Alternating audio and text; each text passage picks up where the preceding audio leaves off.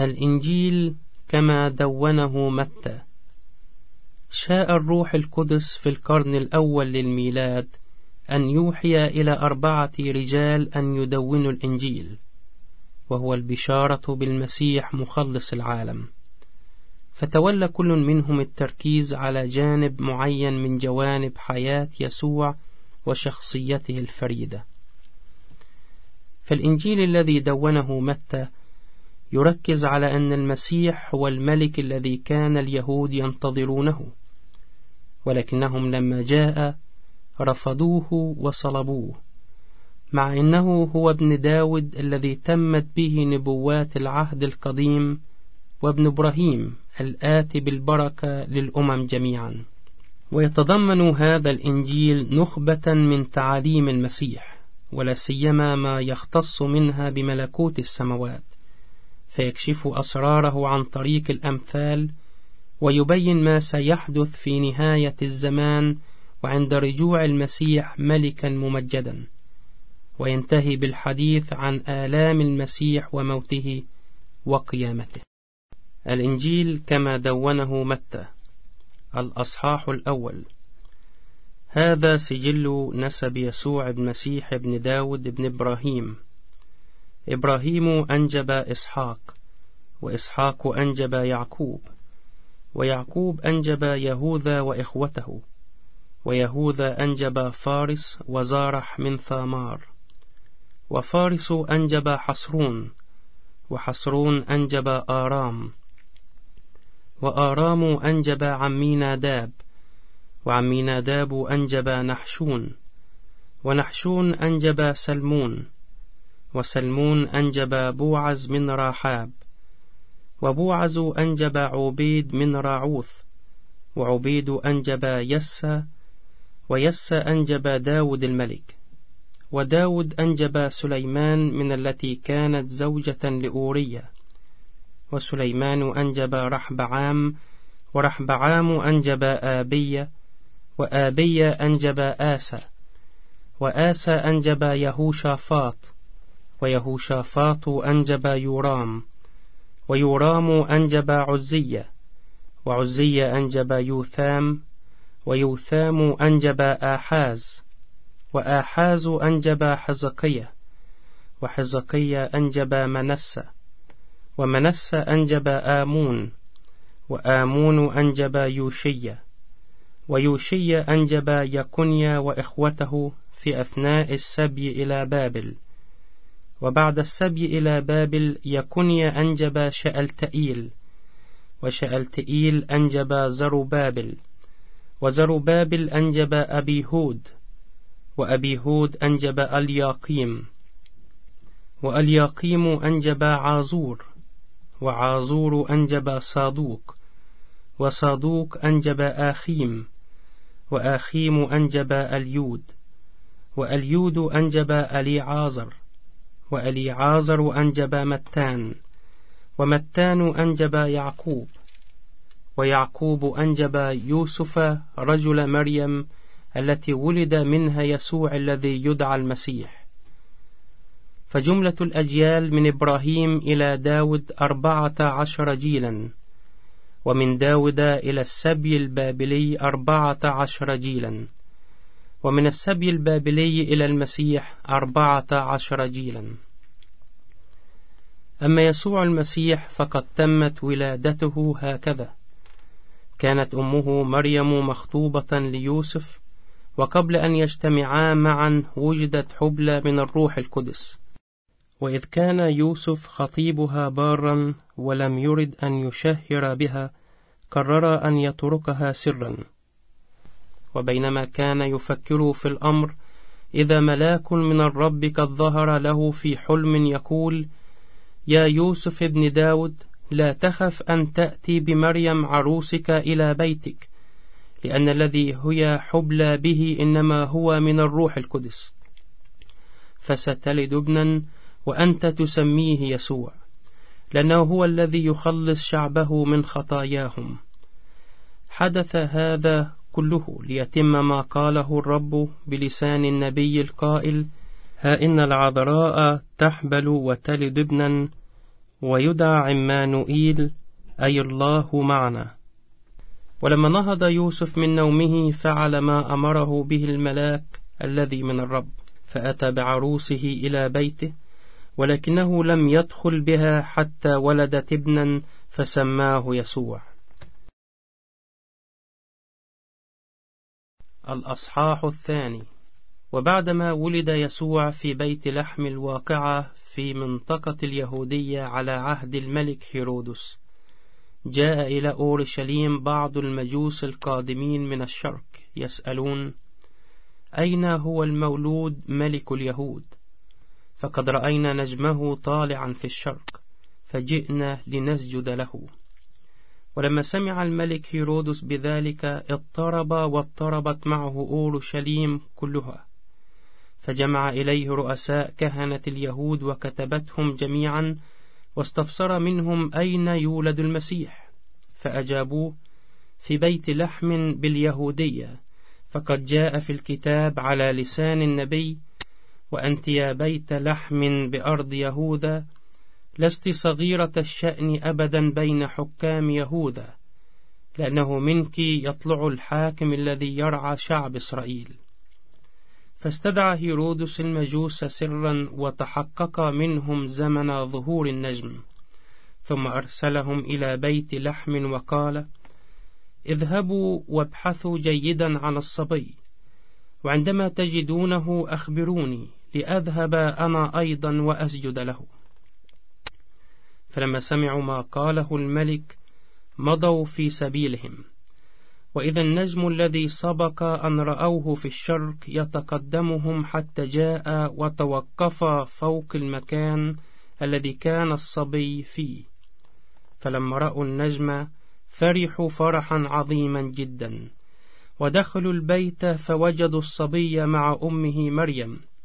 فجثوا وسجدوا له ثم فتحوا كنوزهم وقدموا له هدايا ذهبا وبخورا ومرا.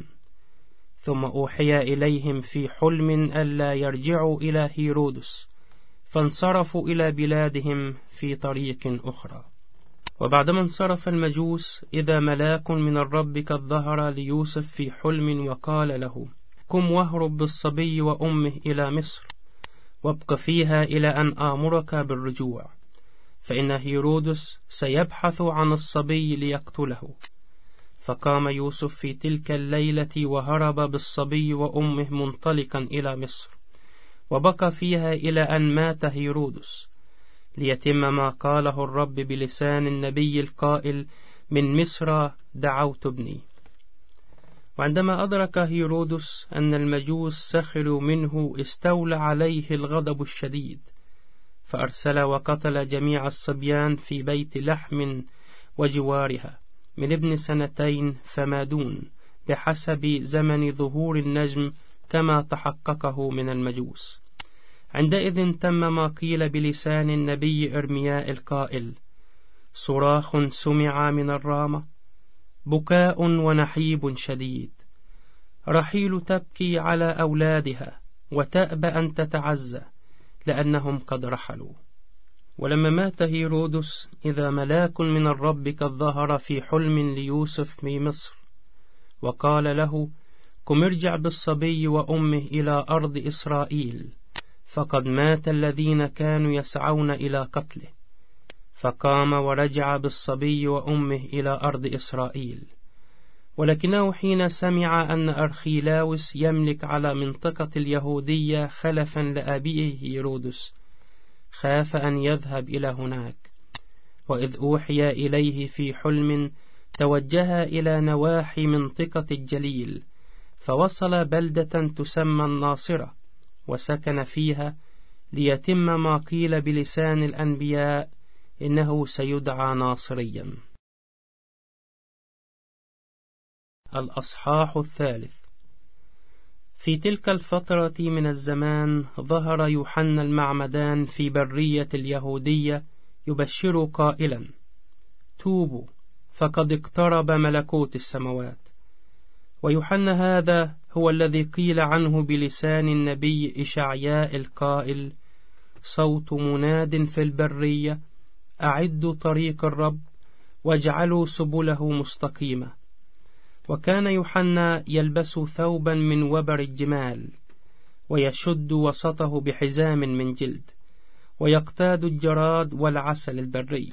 فخرج إليه أهل أورشليم ومنطقة اليهودية كلها وجميع القرى المجاورة للأردن. فكانوا يتعمدون على يده في نهر الأردن معترفين بخطاياهم.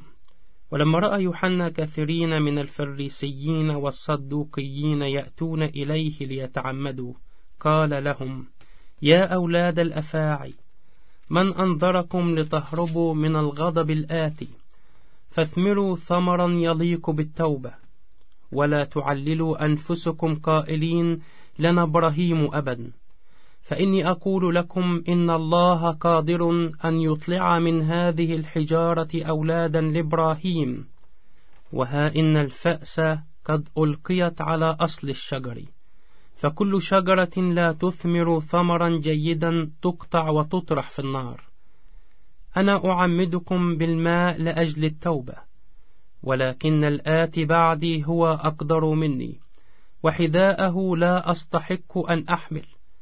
هو سيعمدكم بالروح القدس وبالنار فهو يحمل المذر بيده وسينقي بيدره تماما فيجمع قمحه إلى المخزن وأما التبن فيحرقه بنار لا تطفأ. ثم جاء يسوع من منطقة الجليل إلى نهر الأردن وقصد إلى يوحنا ليتعمد على يده. لكن يوحنا أخذ يمانعه قائلا أنا المحتاج أن أتعمد على يدك. وأنت تأتي إلي. ولكن يسوع أجابه اسمح الآن بذلك. فهكذا يليق بنا أن نتم كل بر. عندئذ سمح له. فلما تعمد يسوع صعد من الماء في الحال. وإذا السماوات قد انفتحت له ورأى روح الله هابطا ونازلا عليه كأنه حمامة. وإذا صوت من السماوات يقول هذا هو ابن الحبيب الذي به سررت كل سرور. الأصحاح الرابع. ثم صعد الروح بيسوع إلى البرية ليجرب من قبل إبليس. وبعدما صام أربعين نهارا وأربعين ليلة جاع أخيرا. فتقدم إليه المجرب وقال له إن كنت ابن الله فكل هذه الحجارة أن تتحول إلى خبز. فأجابه قائلا قد كتب ليس بالخبز وحده يحيا الإنسان بل بكل كلمة تخرج من فم الله. ثم أخذه إبليس إلى المدينة المقدسة وأوقفه على حافة سطح الهيكل وقال له إن كنت ابن الله فاطرح نفسك إلى أسفل لأنه قد كتب يوصي ملائكته بك فيحملونك على أيديهم لكي لا تصدم قدمك بحجر. فقال له يسوع وقد كتب أيضا لا تجرب الرب إلهك. ثم أخذه إبليس أيضا إلى قمة جبل عال جدا وأراه جميع ممالك العالم وعظمتها وقال له أعطيك هذه كلها إن جثوت وسجدت لي. فقال له يسوع اذهب يا شيطان فقد كتب للرب إلهك تسجد وإياه وحده تعبد. فتركه إبليس وإذا بعض الملائكة جاءوا إليه وأخذوا يخدمونه.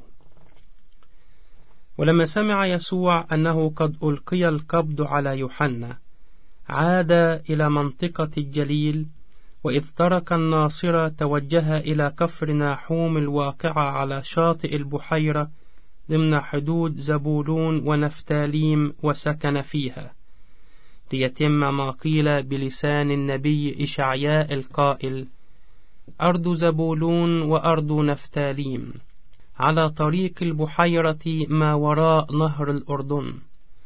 بلاد الجليل التي يسكنها الأجانب. الشعب الجالس في الظلمة أبصر نورا عظيما. والجالسون في أرض الموت وظلاله أشرق عليهم نورا. من ذلك الحين بدأ يسوع يبشر قائلا توبوا فقد اقترب ملكوت السماوات. وبينما كان يسوع يمشي على شاطئ بحيرة الجليل رأى أخوين هما سمعان الذي يدعى بطرس واندراوس أخوه يلقيان الشبك في البحيرة إذ كانا صيادين. فقال لهما هيا اتبعاني فأجعلكما صيادين للناس فتركا الشباك وتبعاه حالا. وصار من هناك فرأى أخوين آخرين هما يعقوب بن زبدي ويوحنا أخوه. في القارب مع أبيهما يصلحان شباكهما فدعاهما ليتبعاه فتركا القارب وأباهما وتبعاه حالا.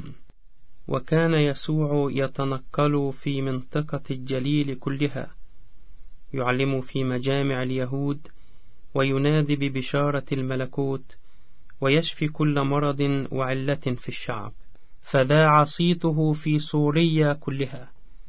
فحمل إليه الناس مرضاهم المعانين من الأمراض والأوجاع على اختلافها والمسكونين بالشياطين والمصروعين والمشلولين فشفاهم جميعا.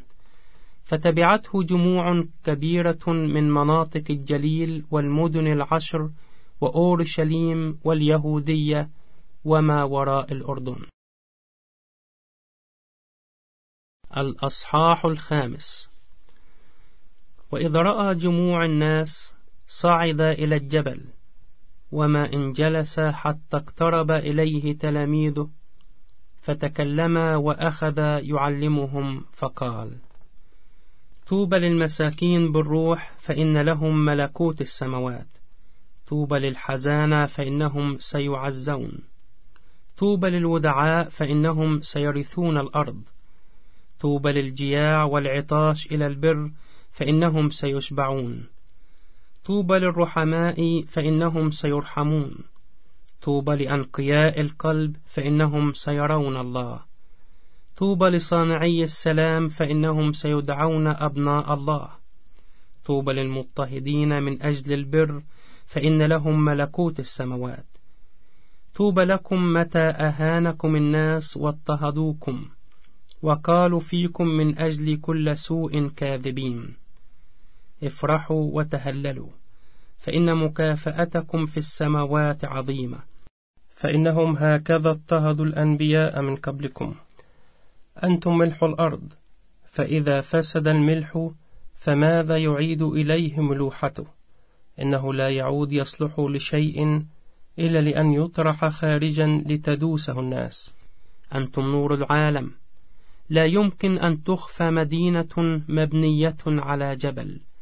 ولا يضيء الناس مصباحا ثم يضعونه تحت مكيال بل يضعونه في مكان مرتفع ليضيء لجميع من في البيت. هكذا فليضئ نوركم أمام الناس ليروا أعمالكم الحسنة ويمجدوا أباكم الذي في السماوات. لا تظن أني جئت لألغي الشريعة أو الأنبياء. ما جئت لألغي بل لأكمل. فالحق أقول لكم إلى أن تزول الأرض والسماء لن يزول حرف واحد أو نقطة واحدة من الشريعة حتى يتم كل شيء. فأي من خالف واحدة من هذه الوصايا الصغرى وعلم الناس أن يفعلوا فعله يدعى الأصغر في ملكوت السماوات. وأما من عمل بها وعلمها فيدعى عظيما في ملكوت السماوات. فإني أقول لكم إن لم يزد بركم على بر الكتبة والفريسيين لن تدخلوا ملكوت السماوات أبدا.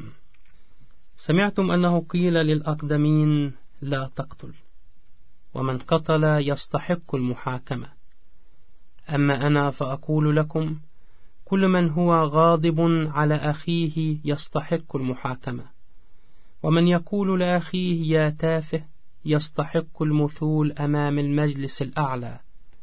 ومن يقول يا أحمق يستحق نار جهنم.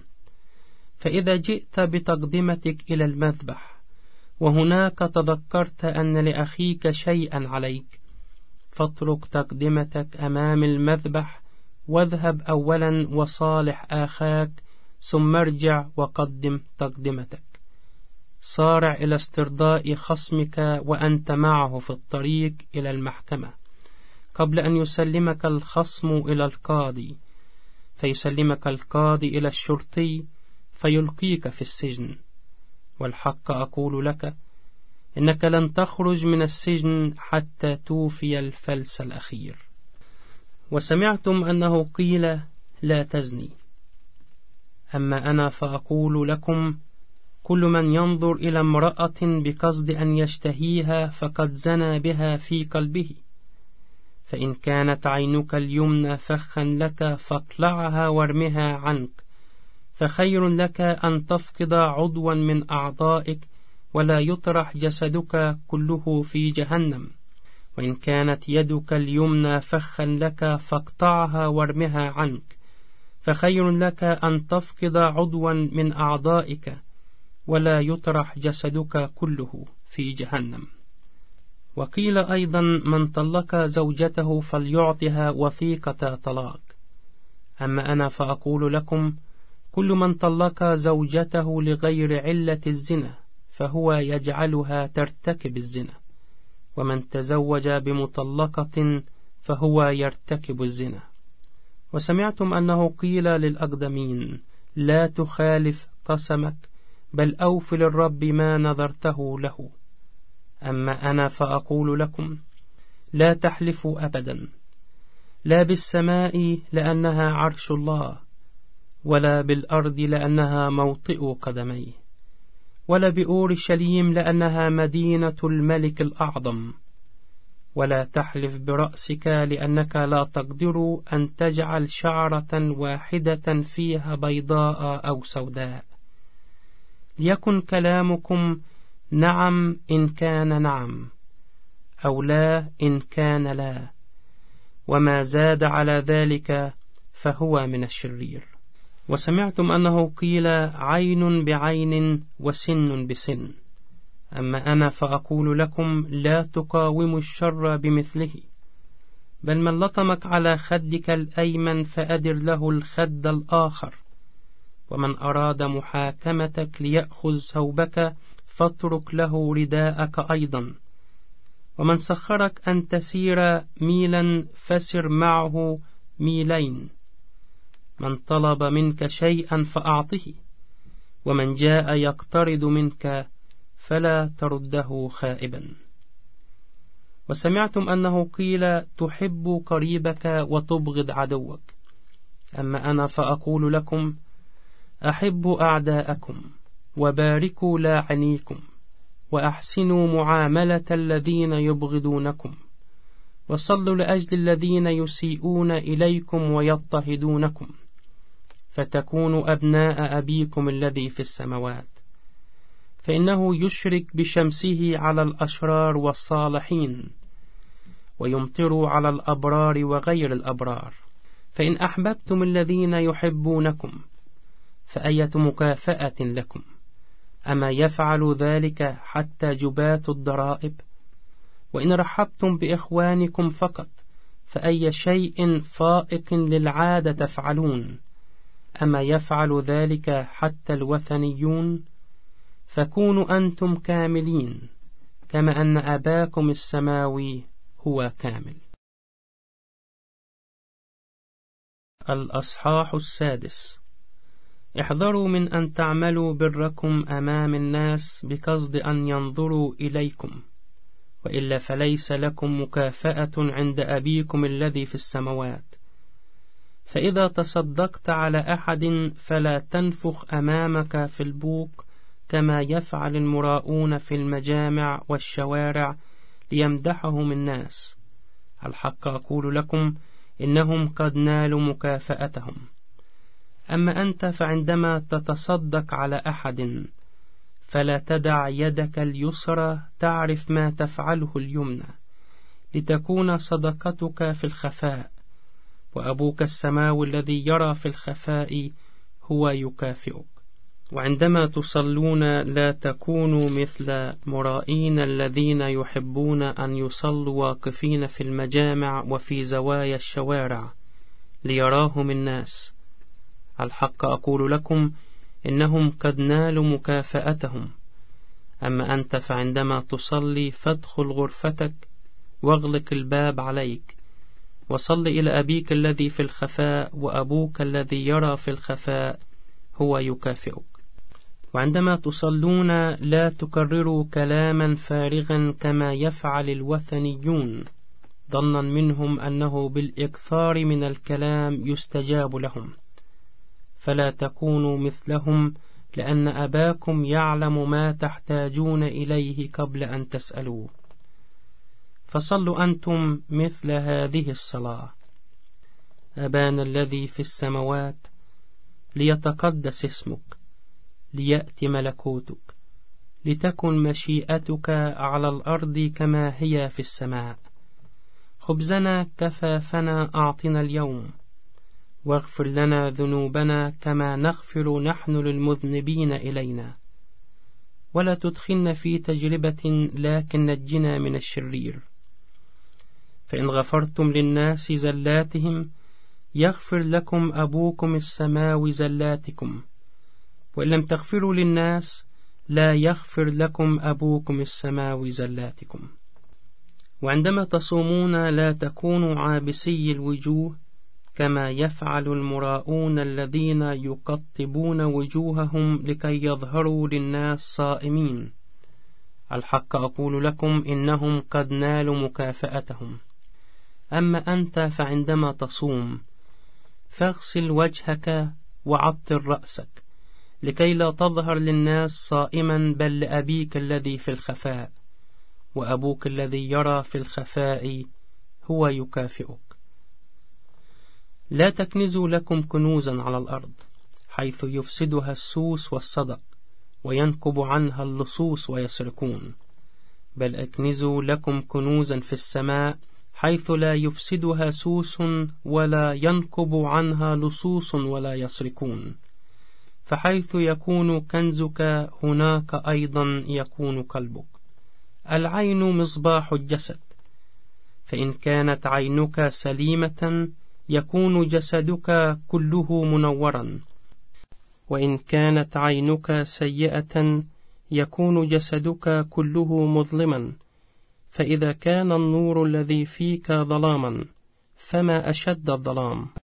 لا يمكن لأحد أن يكون عبدا لسيدين لأنه إما أن يبغض أحدهما فيحب الآخر وإما أن يلزم أحدهما فيهجر الآخر. لا يمكنكم أن تكونوا عبيدا لله والمال معا. لذلك أقول لكم لا تهتموا لمعيشتكم بشأن ما تأكلون وما تشربون ولا لأجسادكم بشأن ما تكتسون. أليست الحياة أكثر من مجرد طعام؟ والجسد أكثر من مجرد كساء؟ تأملوا طيور السماء إنها لا تزرع ولا تحصد ولا تجمع في مخازن وأبوكم السماوي يعولها. أفلستم أنتم أفضل منها كثيرا؟ فمن منكم إذا حمل الهموم يقدر أن يطيل عمره ولو مقدار زراع واحدة؟ ولماذا تحملون هم الكساء؟ تأملوا زنابق الحقل كيف تنمو؟ إنها لا تتعب ولا تغزل.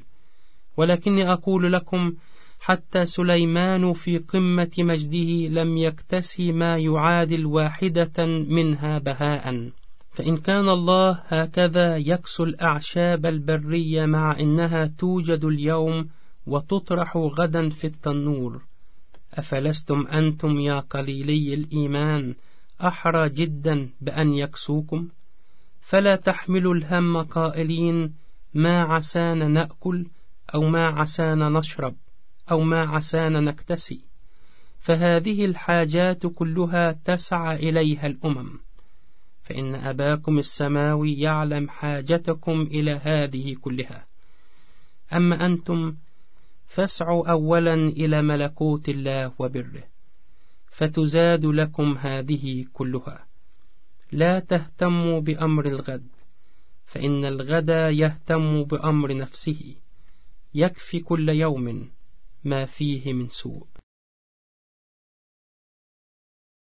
الأصحاح السابع.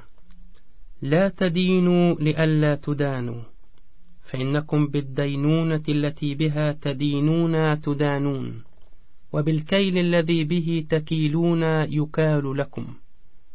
لماذا تلاحظ الكش في عين أخيك؟ ولكنك لا تتنبه إلى الخشب الكبير في عينك.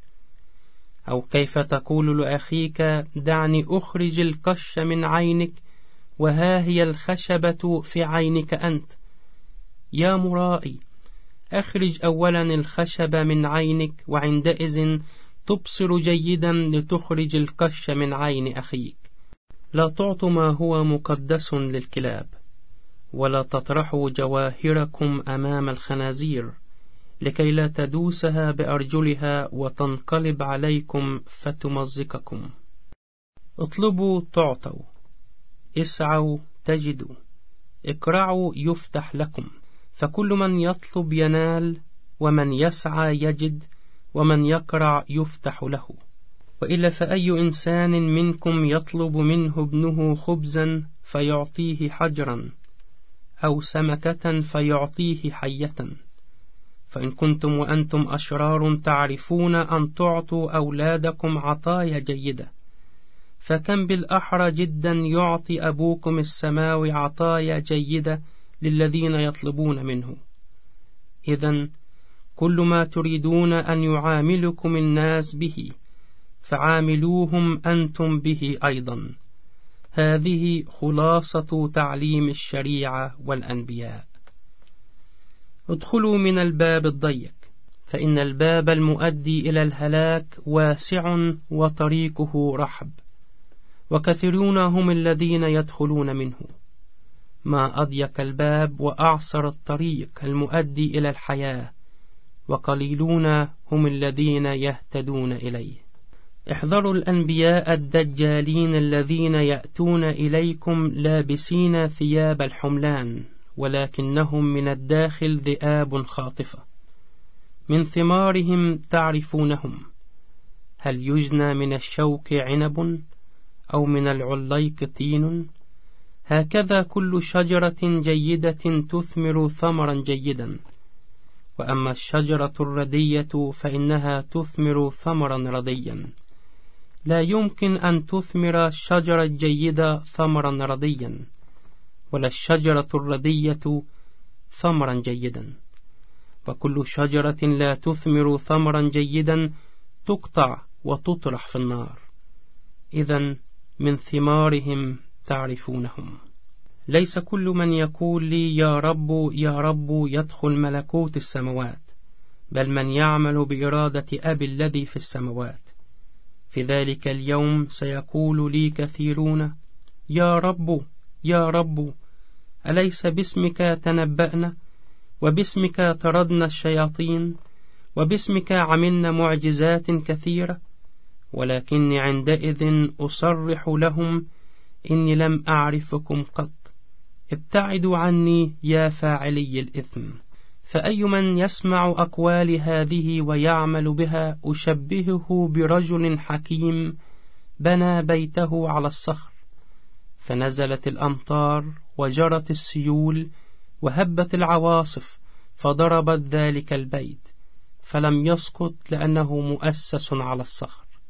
وأي من يسمع أقوال هذه ولا يعمل بها يشبه برجل غبي بنى بيته على الرمل. فنزلت الأمطار وجرت السيول وهبت العواصف فضربت ذلك البيت فسقط وكان سقوطه عظيما. ولما أنهى يسوع هذا الكلام ذهلت الجموع من تعليمه لأنه كان يعلمهم كصاحب سلطة وليس مثل كتبتهم. الأصحاح الثامن. ولما نزل من الجبل تبعته جموع كثيرة وإذا رجل مصاب بالبرص تقدم إليه وسجد له قائلا يا سيد إن كنت تريد فأنت قادر أن تطهرني. فمد يده ولمسه وقال إني أريد فطهر وفي الحال طهر من برصه وقال له يسوع انتبه لا تخبر أحدا بل اذهب واعرض نفسك على الكاهن وقرب التقدمة التي أمر بها موسى فيكون ذلك شهادة لهم. وحالما دخل يسوع مدينة كفر ناحوم جاءه قائد مئة يتوسل إليه قائلا يا سيد إن خادمي مشلول طريح الفراش في البيت يعاني أشد الآلام فقال له يسوع سأذهب وأشفيه فأجاب قائد المئة يا سيد أنا لا أستحق أن تدخل تحت سقف بيتي إنما قل كلمة فيشفى خادمي. فأنا أيضا رجل تحت سلطة أعلى مني ولي جنود تحت إمرتي.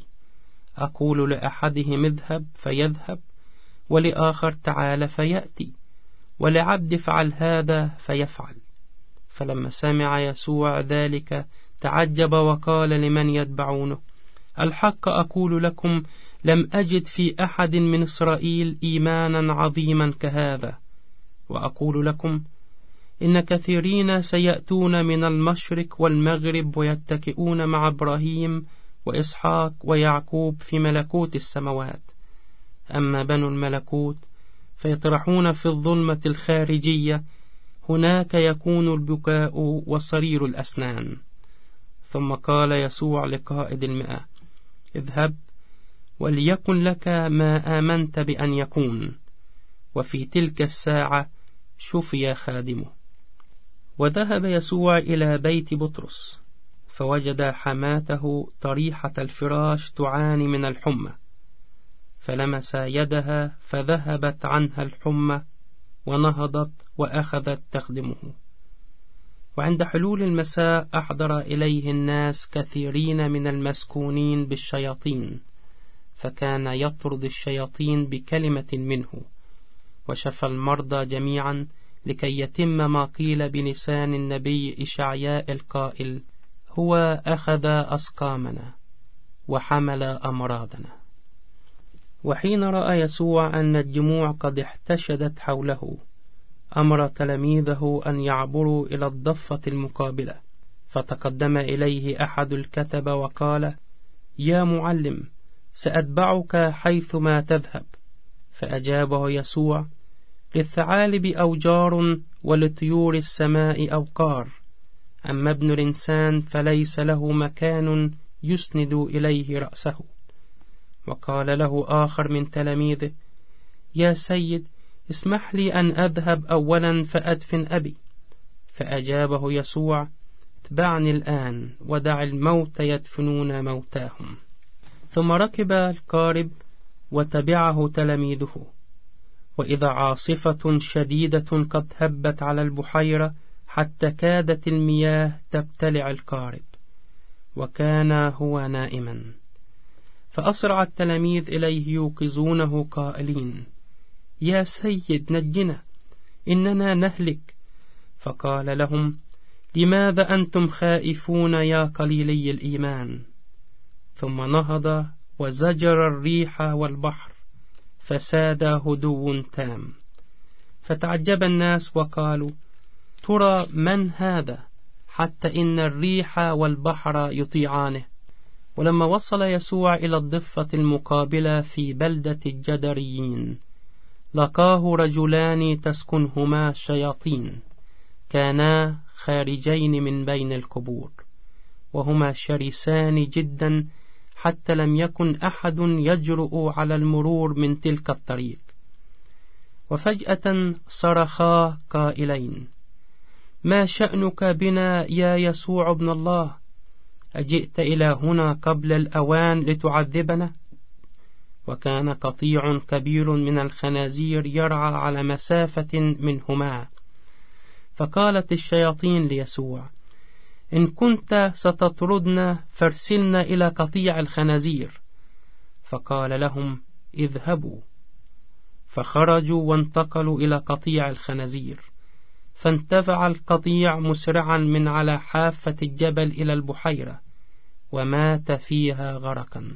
وهرب رعاة الخنازير إلى المدينة ونقلوا خبر كل ما جرى وما حدث للمسكونين.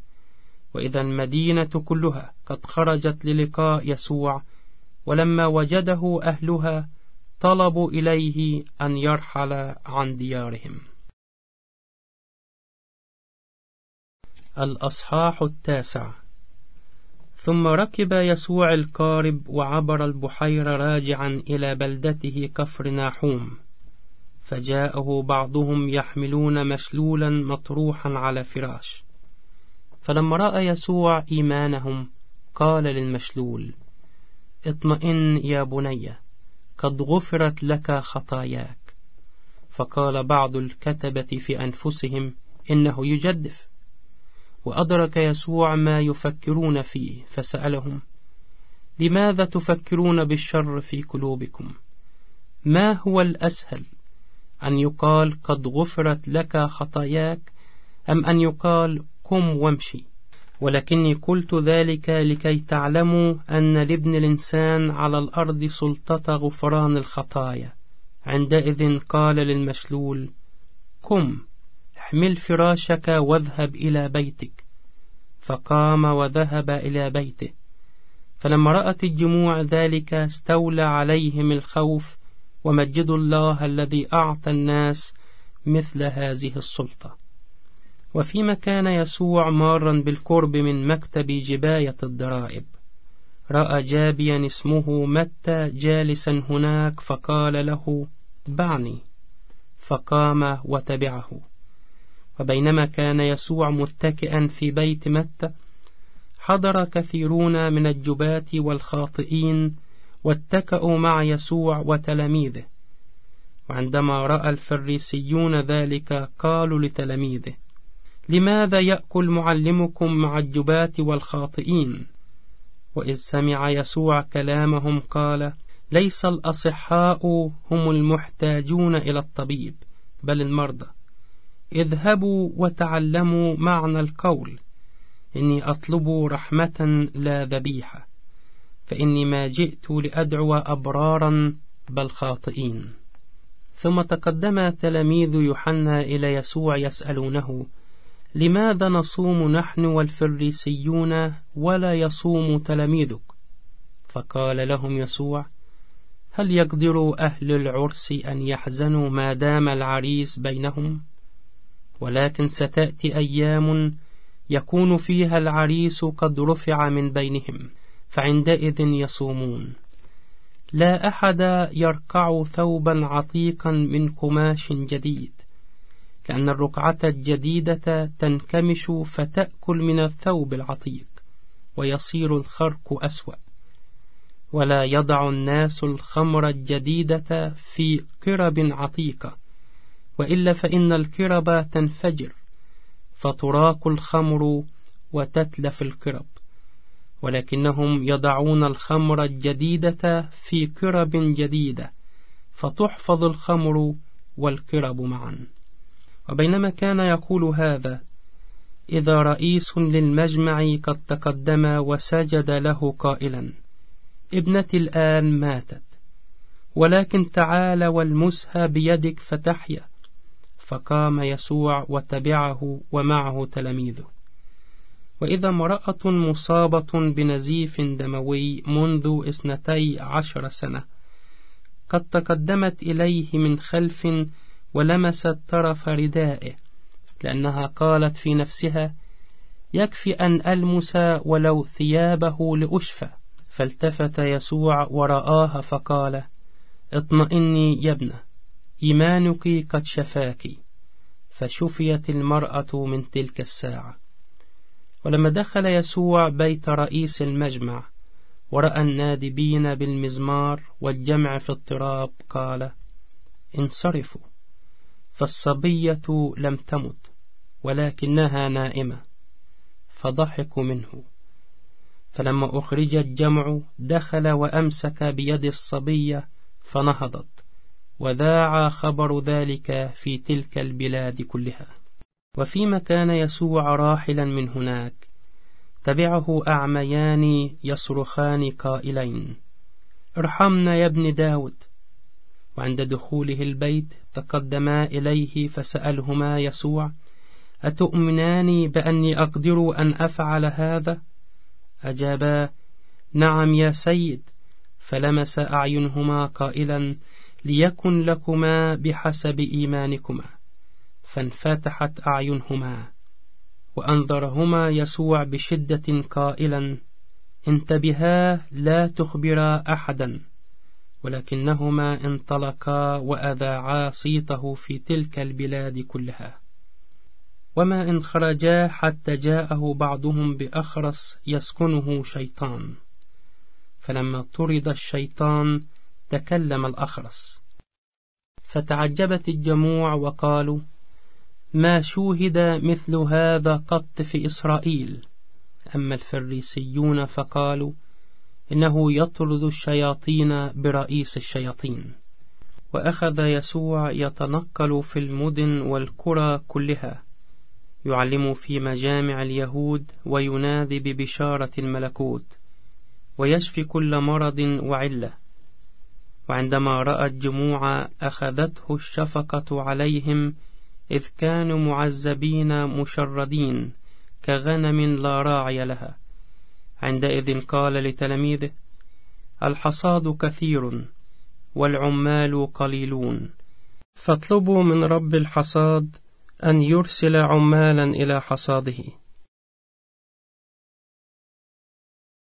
الأصحاح العاشر. ثم دعا إليه تلاميذه الاثني عشر وأعطاهم سلطة على الأرواح النجسة ليطردوها ويشفوا كل مرض وعلة. وهذه أسماء الاثني عشر رسولا. أولا سمعان الذي دعي بطرس وأندراوس أخوه.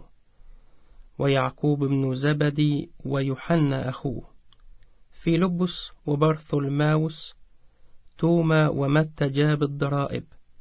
يعقوب بن حلفة وتداوس سمعان القانوي ويهوذا الإسخريوطي الذي خانه.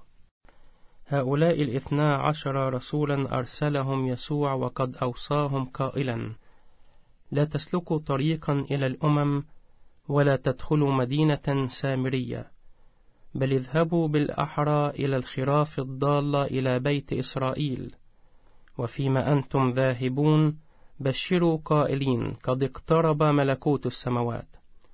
المرضى اشفوا والموت أقيموا والبرص طهروا والشياطين اطردوا. مجانا أخذتم فمجانا أعطوا. لا تحملوا في أحزمتكم ذهبا ولا فضة ولا نحاسا. ولا تأخذوا للطريق زادا ولا ثوبين ولا حذاء ولا عصا. فإن العامل يستحق طعامه.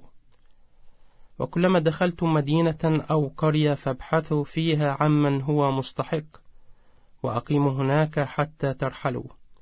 وعندما تدخلون بيتا ألقوا السلام عليه. فإذا كان ذلك البيت مستحقا فعلا فليحل سلامكم عليه. ولم يكن مستحقا فليرجع سلامكم لكم. وإن كان أحد لا يقبلكم ولا يسمع كلامكم في بيت أو مدينة فاخرجوا من هناك وانفضوا الغبار عن أقدامكم. الحق أقول لكم إن حالة مدينتي سدوم وعمورة سوف تكون في يوم الدينونة أخف وطأة من حالة تلك المدينة. ها أنا أرسلكم مثل الخراف بين الذئاب. فكونوا متنبهين كالحيات ومسالمين كالحمام. احذروا من الناس فإنهم سيسلمونكم إلى المحاكم ويجلدونكم في مجامعهم وتساقون للمثول أمام الحكام والملوك من أجلي. فيكون ذلك شهادة لي لدى اليهود والأمم على السواء. فحين يسلمونكم لا تهتموا كيف تتكلمون أو ماذا تقولون. فإنكم في تلك الساعة تلهمون ما تقولون. فلستم أنتم المتكلمين بل روح أبيكم هو الذي يتكلم فيكم. وسوف يسلم الأخ أخاه إلى الموت والأب ولده ويتمرد الأولاد على والديهم ويقتلونهم. وتكونون مكروهين لدى الجميع من أجل اسمي. ولكن من يثبت إلى النهاية هو الذي يخلص. فإذا اضطهدوكم في مدينة ما فاهربوا إلى غيرها. فإن الحق أقول لكم لن تفرغوا من مدن إسرائيل إلى أن يأتي ابن الإنسان. ليس التلميذ أرفع من المعلم ولا العبد أرفع من سيده. يكفي التلميذ أن يصير مثل معلمه والعبد مثل سيده. إن كانوا قد لقبوا رب البيت بعل زبول فكم بالأحرى يلقبون أهل بيته؟ فلا تخافوهم لأنه ما من محجوب لن يكشف وما من خفي لن يعلن. ما أقوله لكم في الظلام قولوه في النور وما تسمعونه همسا نادوا به على السطوح.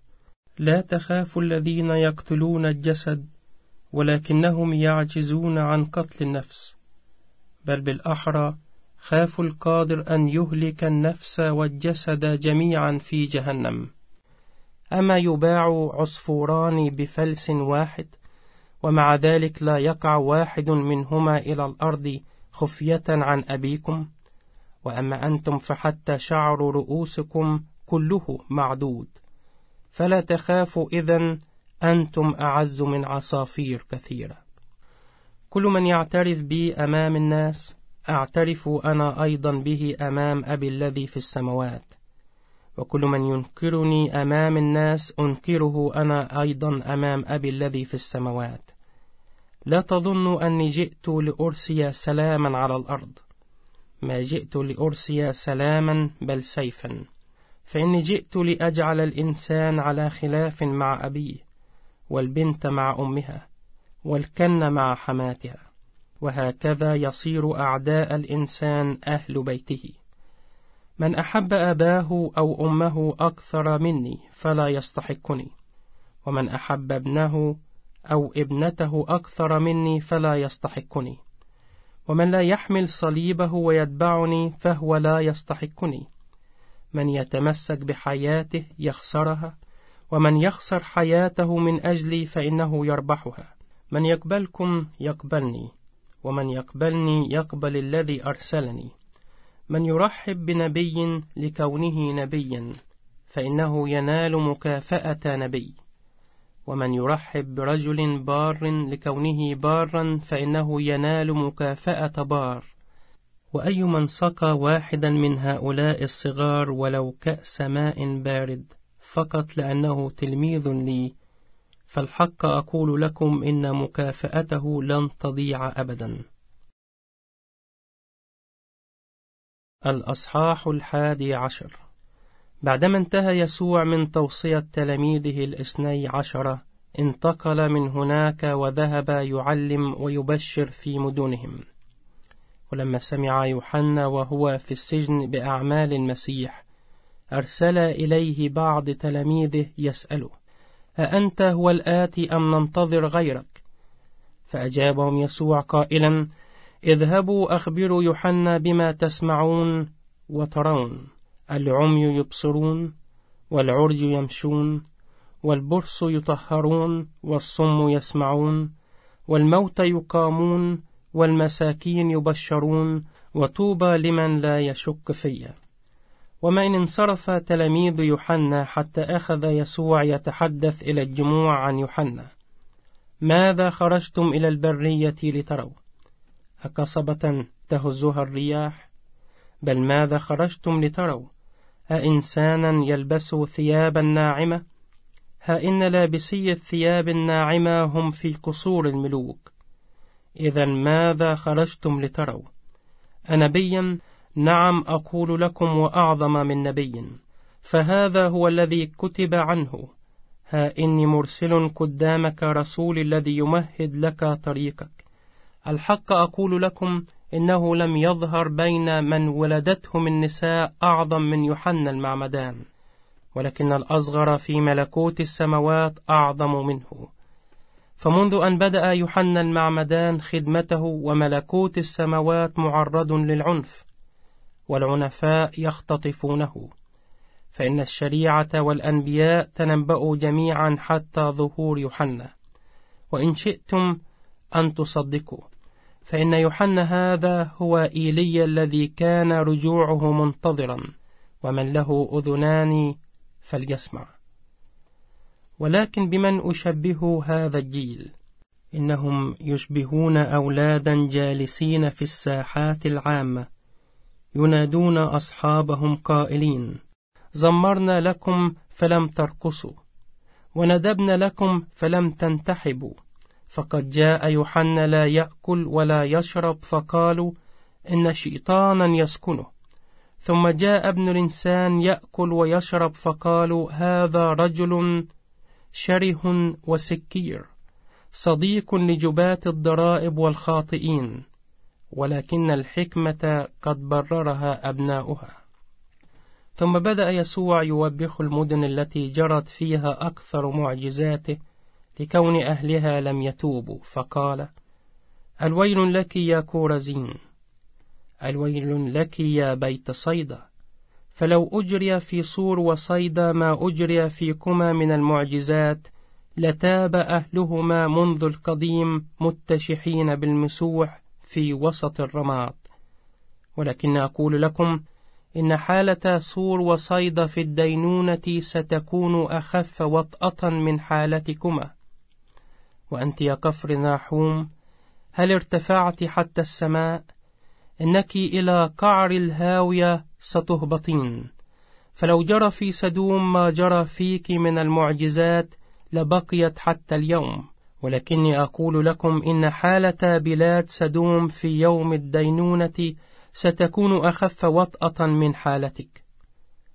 وفي ذلك الوقت تكلم يسوع فقال أحمدك أيها الآب رب السماء والأرض لأنك حجبت هذه الأمور عن الحكماء والفهماء وكشفتها للأطفال. نعم أيها الآب لأنه هكذا حسن في نظرك. كل شيء قد سلمه إلي أبي ولا أحد يعرف الابن إلا الآب ولا أحد يعرف الآب إلا الابن ومن أراد الابن أن يعلنه له. تعالوا إلي يا جميع المتعبين والرازحين تحت الأحمال الثقيلة وأنا أريحكم.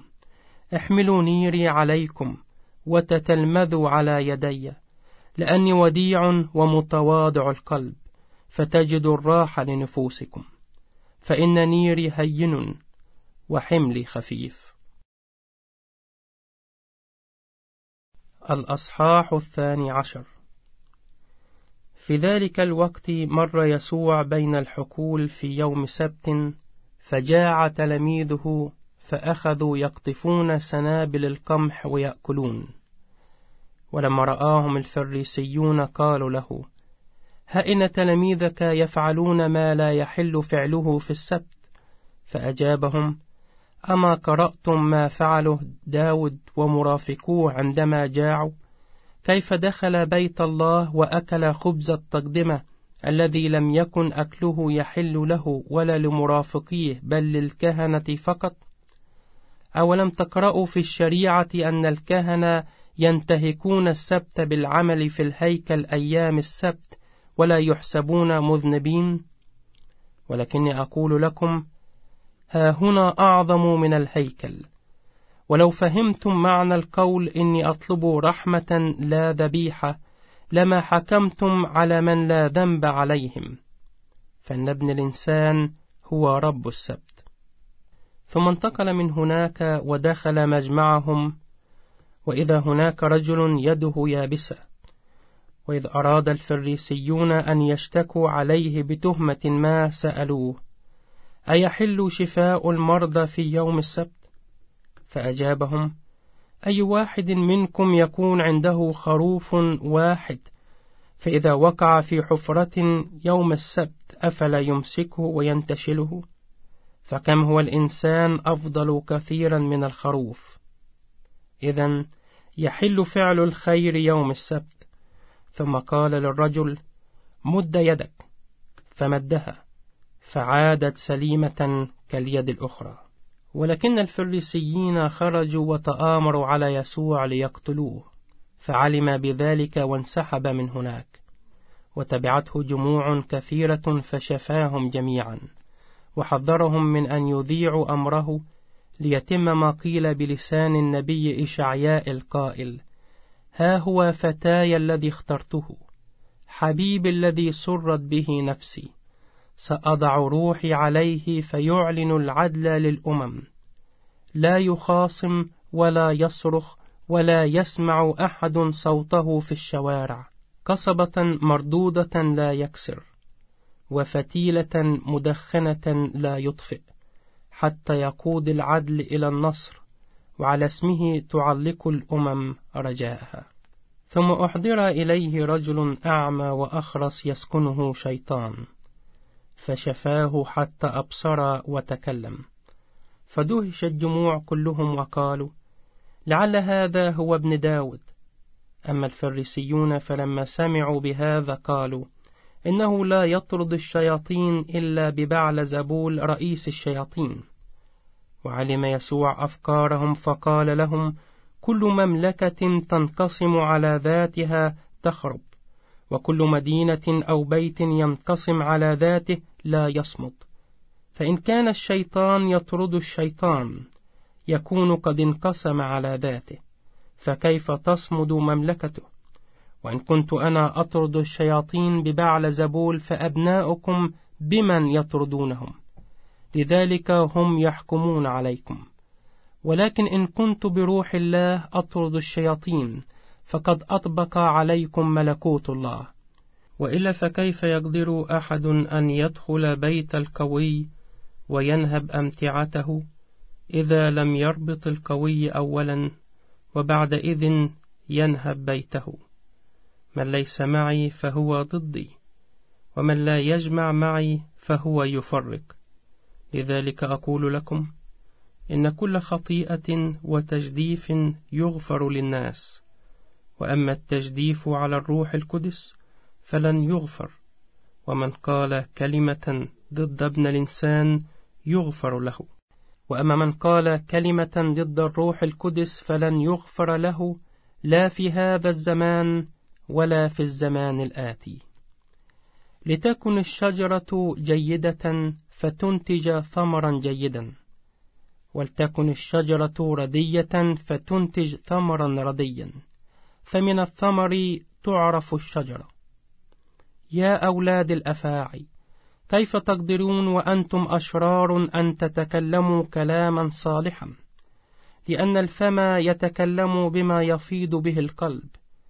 فالإنسان الصالح من الكنز الصالح في قلبه يصدر ما هو صالح. والإنسان الشرير يصدر ما هو شرير. على أني أقول لكم إن كل كلمة باطلة يتكلم بها الناس سوف يؤدون عنها الحساب في يوم الدينونة فإنك بكلامك تبرر وبكلامك تدان عندئذ أجابه بعض الكتب والفريسيين قائلين يا معلم نرغب في أن نشاهد آية تجريها. فأجابهم جيل شرير خائن يطلب آية ولن يعطى آية إلا آية يونان النبي. فكما بقي يونان في جوف الحوت ثلاثة أيام وثلاث ليالي. هكذا سيبقى ابن الإنسان في جوف الأرض ثلاثة أيام وثلاث ليال. سيقف أهل نينوى يوم الدينون مع هذا الجيل ويدينونه لأنهم تابوا لما أنظرهم يونان. وها هنا أعظم من يونان. وستقوم ملكة الجنوب يوم الدينون مع هذا الجيل وتدينه لأنها جاءت من أقصى الأرض لتسمع حكمة سليمان. وها هنا أعظم من سليمان. ولكن متى خرج الروح النجس من إنسان يسكنه؟ يهيم في الأماكن القاحلة طالبا الراحة فلا يجد فيقول أرجع إلى مسكني الذي فارقته ويرجع فيجده فارغا مكنوسا مزينا فيذهب ويحضر معه سبعة أرواح أخرى أكثر منه شرا فتدخل جميعا وتسكن ذلك الإنسان. فتكون آخرته أسوأ من حالته الأولى. هكذا تكون حال هذا الجيل الشرير. وبينما كان يكلم الجموع إذ أمه وإخوته قد وقفوا خارجا يطلبون أن يكلموه. فقال له واحد من الحاضرين ها إن أمك وإخوتك واقفون خارجا يطلبون أن يكلموك. فأجاب قائلا للذي أخبره من هي أمي؟ ومن هم إخوتي؟ ثم أشار بيده إلى تلاميذه وقال هؤلاء هم أمي وإخوتي لأن كل من يعمل بإرادة أبي الذي في السماوات هو أخي وأختي وأمي.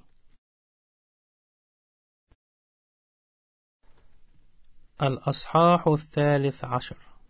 في ذلك اليوم خرج من البيت وجلس على شاطئ البحيرة فاجتمعت إليه جموع كثيرة حتى إنه صعد إلى القارب وجلس بينما وقف الجمع كله على الشاطئ.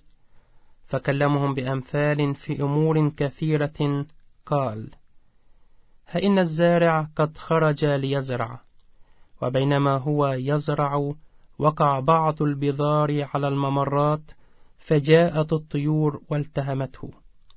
ووقع بعضه على أرض صخرية رقيقة التربة فطلع سريعا لأن تربته لم تكن عميقة.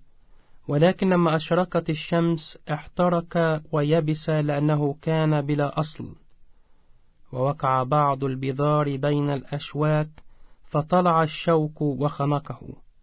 وبعض البذار وقع في الأرض الجيدة فأثمر بعضه مئة ضعف وبعضه ستين وبعضه ثلاثين. من له أذنان فليسمع. فتقدم إليه التلاميذ وسألوه لماذا تكلمهم بأمثال؟ فأجاب لأنه قد أعطي لكم أن تعرفوا أسرار ملكوت السماوات أما أولئك فلم يعط لهم ذلك؟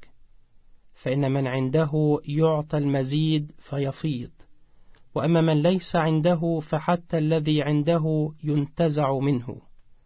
لهذا السبب أكلمهم بأمثال. فهم ينظرون دون أن يبصروا ويسمعون دون أن يسمعوا أو يفهموا. ففيهم قد تمت نبوة إشعياء حيث يقول سمعا تسمعون ولا تفهمون. ونظرا تنظرون ولا تبصرون. لأن قلب هذا الشعب قد صار غليظا وصارت آذانهم ثقيلة السمع وأغمضوا عيونهم لئلا يبصروا بعيونهم ويسمعوا بآذانهم ويفهموا بقلوبهم ويرجعوا إلي فأشفيهم. وأما أنتم فطوبى لعيونكم لأنها تبصر. ولآذانكم لأنها تسمع. فالحق أقول لكم كم تمنى أنبياء وأبرار كثيرون أن يروا ما تبصرون ولم يروا وأن يسمعوا ما تسمعون ولم يسمعوا. فاسمعوا أنتم معنى مثل الزارع. كل من يسمع كلمة الملكوت ولا يفهمها يأتي الشرير ويخطف ما قد زرع في قلبه. هذا هو المزروع على الممرات. أما المزروع على أرض صخرية فهو الذي يسمع الكلمة ويقبلها بفرح في الحال ولكنه لا أصل له في ذاته إنما يبقى إلى حين فحالما يحدث ضيق أو اضطهاد من أجل الكلمة يتعثر.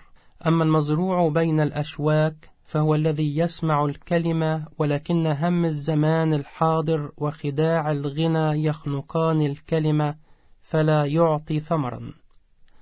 وأما المزروع في الأرض الجيدة فهو الذي يسمع الكلمة ويفهمها.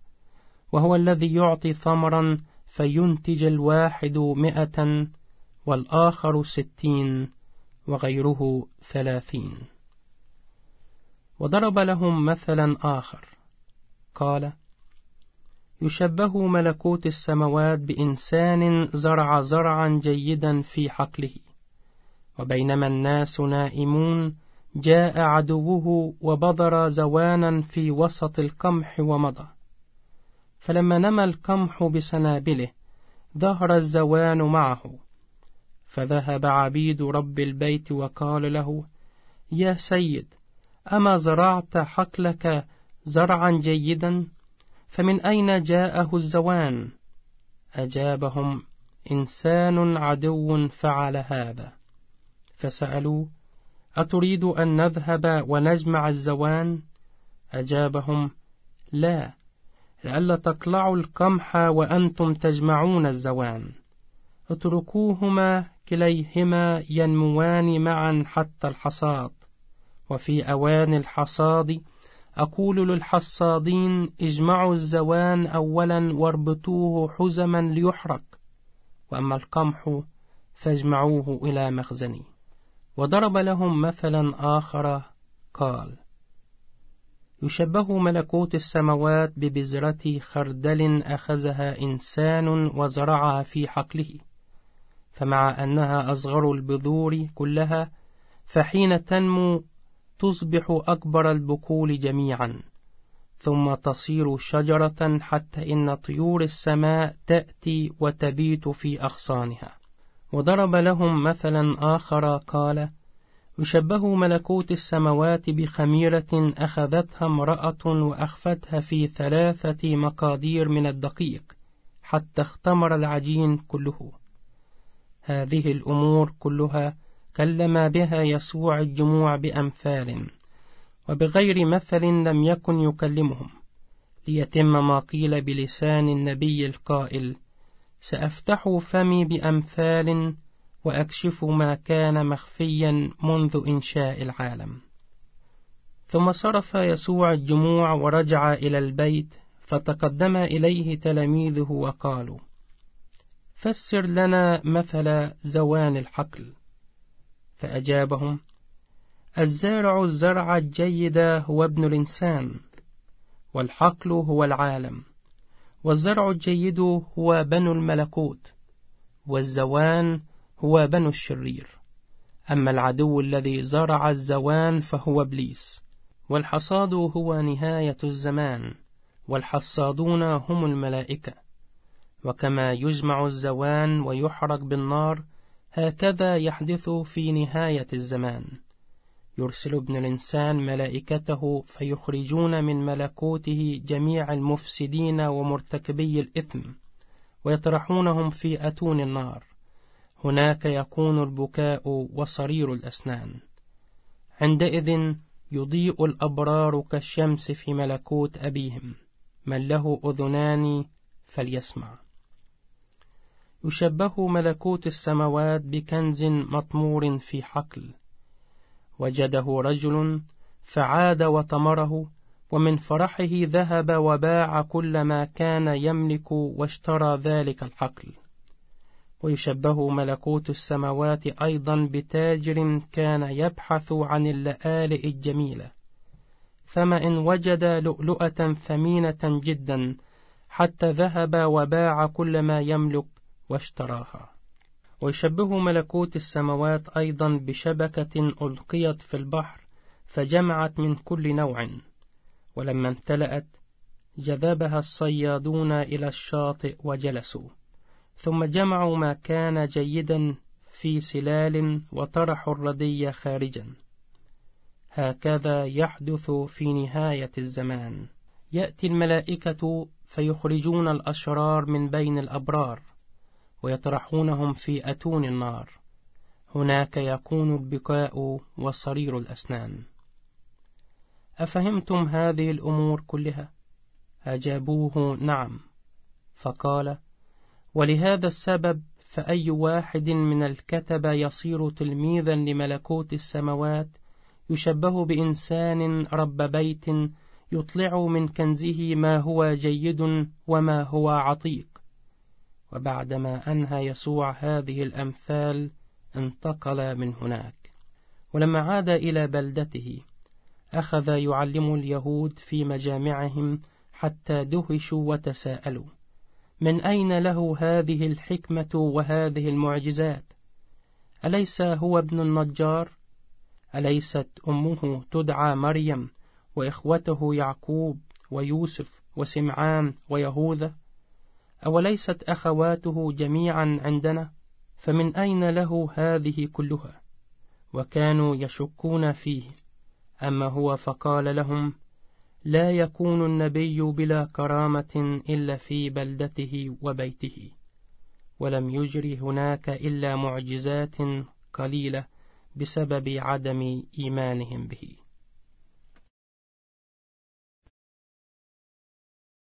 الأصحاح الرابع عشر.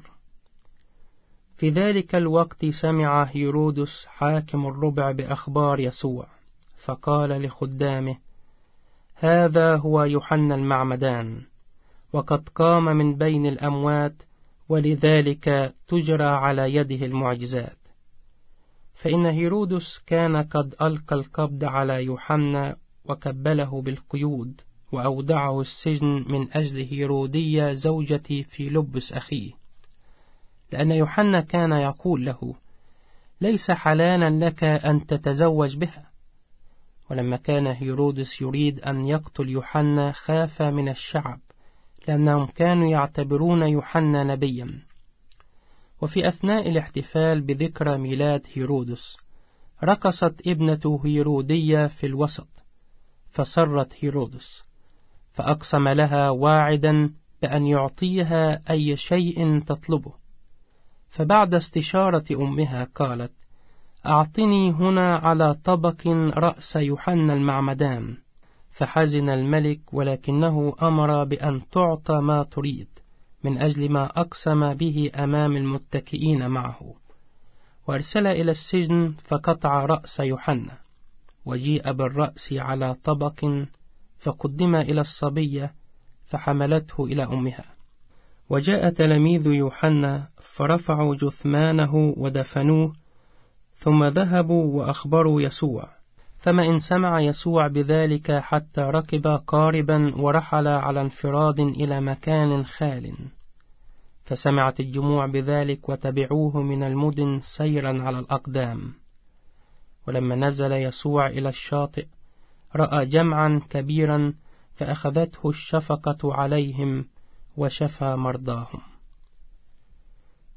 وعندما حل المساء اقترب التلاميذ إليه وقالوا هذا المكان مقفر وقد فات الوقت. فاصرف الجموع ليذهبوا إلى القرى ويشتروا طعاما لأنفسهم. ولكن يسوع قال لهم لا حاجة لهم أن يذهبوا. أعطوهم أنتم ليأكلوا. فقالوا ليس عندنا هنا سوى خمسة أرغفة وسمكتين. فقال أحضروها إلي هنا. وأمر الجموع أن يجلسوا على العشب ثم أخذ الأرغفة الخمسة والسمكتين ورفع نظره إلى السماء وبارك وكسر الأرغفة وأعطاها للتلاميذ فوزعوها على الجموع فأكل الجميع وشبعوا ثم رفع التلاميذ اثنتي عشرة كفة ملؤوها بما فضل من الكسر وكان عدد الآكلين نحو خمسة آلاف رجل ما عدا النساء والأولاد. وفي الحال ألزم يسوع التلاميذ أن يركبوا القارب ويسبقوه إلى الضفة المقابلة من البحيرة حتى يصرف هو الجموع. وبعدما صرف الجموع صعد إلى الجبل ليصلي على انفراد. وحل المساء وهو وحده هناك. وكان قارب التلاميذ قد بلغ وسط البحيرة والأمواج تضربه لأن الريح كانت معاكسة له. وفي الربع الأخير من الليل جاء يسوع إلى التلاميذ ماشيا على ماء البحيرة. فلما رآه التلاميذ ماشيا على الماء اضطربوا قائلين إنه شبح. ومن خوفهم صرخوا. وفي الحال كلمهم يسوع قائلا تشجعوا أنا هو لا تخافوا. فقال له بطرس إن كنت أنت هو فمرني أن آتي إليك ماشيا على الماء. فقال له يسوع تعالى فنزل بطرس من القارب ومشى على الماء متجها نحو يسوع. ولكنه عندما شعر بشدة الريح خاف وبدأ يغرق فصرخ يا رب نجني! فمد يسوع يده في الحال وأمسكه وقال له يا قليل الإيمان لماذا شككت؟ وما أن صعد إلى القارب حتى سكنت الريح. فتقدم الذين في القارب وسجدوا له قائلين أنت حقا ابن الله. ولما عبروا إلى الضفة المقابلة من البحيرة نزلوا في بلدة جني صارت فعرفه أهل تلك المنطقة وأرسلوا الخبر إلى البلاد المجاورة فأحضروا إليه جميع المرضى وطلبوا منه أن يسمح لهم بلمس طرف ردائه فقط. وجميع الذين لمسوه نالوا شفاء تاما. الأصحاح الخامس عشر. وتقدم إلى يسوع بعض الكتبة والفريسيين من أورشليم وسألوه لماذا يخالف تلاميذك تقاليد الشيوخ؟ فلا يغسلون أيديهم قبل أن يأكلوا. فأجابهم ولماذا تخالفون أنتم وصية الله من أجل المحافظة على تقاليدكم؟ فقد أوصى الله قائلا أكرم أباك وأمك. ومن أهان آباه أو أمه فلتكن الموت عقابا له. ولكنكم أنتم تقولون من قال لأبيه أو أمه إنما أعولك به قد جعلته تقدمة للهيكل. فهو في حل من إكرام أبيه وأمه. وأنتم بهذا تلغون ما أوصى به الله محافظة على تقاليدكم. أيها المراؤون أحسن إشعياء إذ تنبأ عنكم فقال هذا الشعب يكرمني بشفتيه أما قلبه فبعيد عني جدا. إنما باطلا يعبدونني وهم يعلمون تعاليم ليست إلا وصايا الناس. ثم دعا الجمع إليه وقال لهم اسمعوا وافهموا ليس ما يدخل الفم ينجس الإنسان بل ما يخرج من الفم هو الذي ينجس الإنسان. فتقدم إليه تلاميذه وقالوا له أتعلم أن هذا القول قد أثار استياء الفريسيين؟ فأجابهم كل غرسة لم يغرسها أبي السماوي لا بد أن تقلع. دعوهم وشأنهم فهم عميان يقودون عميانا. وإذا كان الأعمى يقود أعمى يسقطان معا في حفرة. وقال له بطرس فسر لنا ذلك المثل.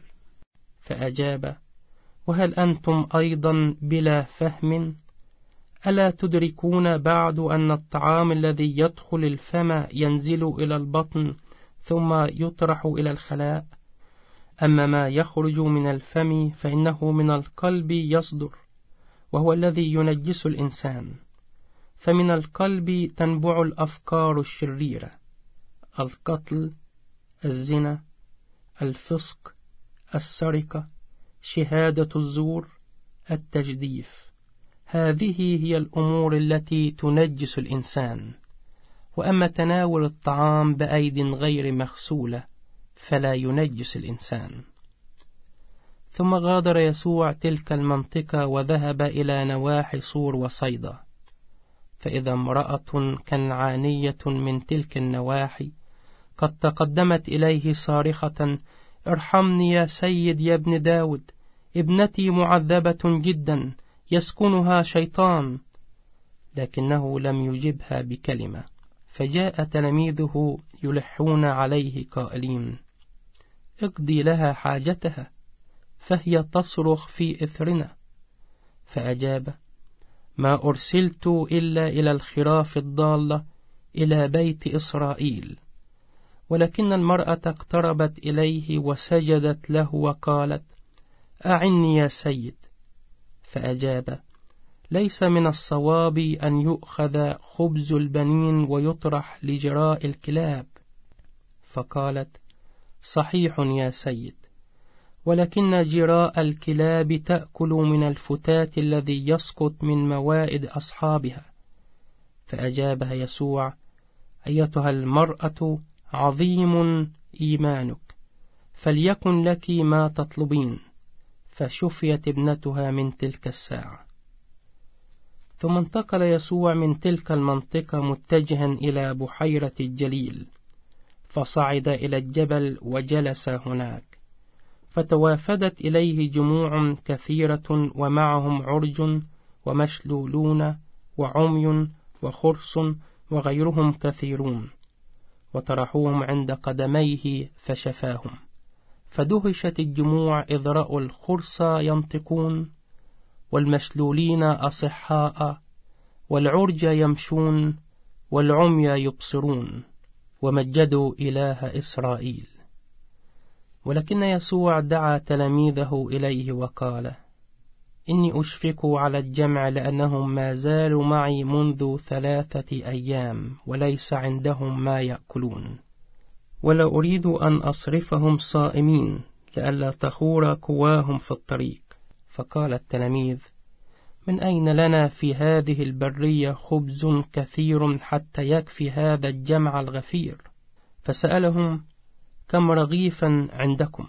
أجابوا سبعة وبعض سمكات صغار. فأمر الجمع أن يجلسوا على الأرض ثم أخذ الأرغفة السبعة والسمكات وشكر وكسر وأعطى التلاميذ فوزعوها على الجموع فأكل الجميع حتى شبعوا ثم رفع التلاميذ سبعة سلال ملأوها بما فضل من الكسر وكان عدد الآكلين أربعة آلاف رجل ما عدا النساء والأولاد. ثم صرف يسوع الجموع وركب القارب وجاء إلى نواحي مجدان. الأصحاح السادس عشر. وجاء بعض الفريسيين والصدوقيين إلى يسوع ليجربوه فطلبوا إليه أن يريهم آية من السماء فأجابهم إذا كانت السماء حمراء صافية عند الغروب تقولون سيكون صحو. وإذا كانت السماء حمراء متجهمة في الصباح تقولون اليوم مطر. إنكم تستدلون على حالة الطقس من منظر السماء. أما علامات الأزمنة فلا تستطيعون الاستدلال عليها. جيل شرير خائن يطلب آية. ولن يعطى آية إلا ما حدث للنبي يونان. ثم فارقهم ومضى. ولما وصل تلاميذه إلى الشاطئ الآخر كانوا قد نسوا أن يتزودوا خبزا. وقال لهم يسوع انتبهوا خذوا حذركم من خمير الفريسيين والصدوقيين. فبدأوا يحاجون بعضهم بعضا قائلين هذا لأننا لم نتزود خبزا. وعلم يسوع بذلك فقال لهم يا قليلي الإيمان لماذا تحاجون بعضكم بعضا لأنكم لم تتزودوا خبزا؟ ألا تفهمون بعد أم نسيتم الأرغفة الخمسة التي أشبعت الخمسة الآلاف وكم كفة رفعتم منها؟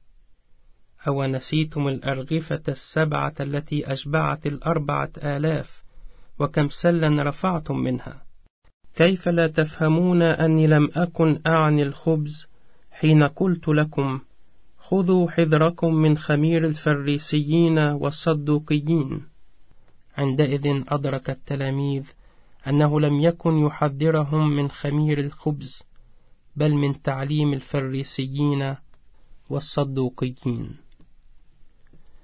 ولما وصل يسوع إلى نواحي قيصرية في لبس سأل تلاميذه من يقول الناس إني أنا ابن الإنسان؟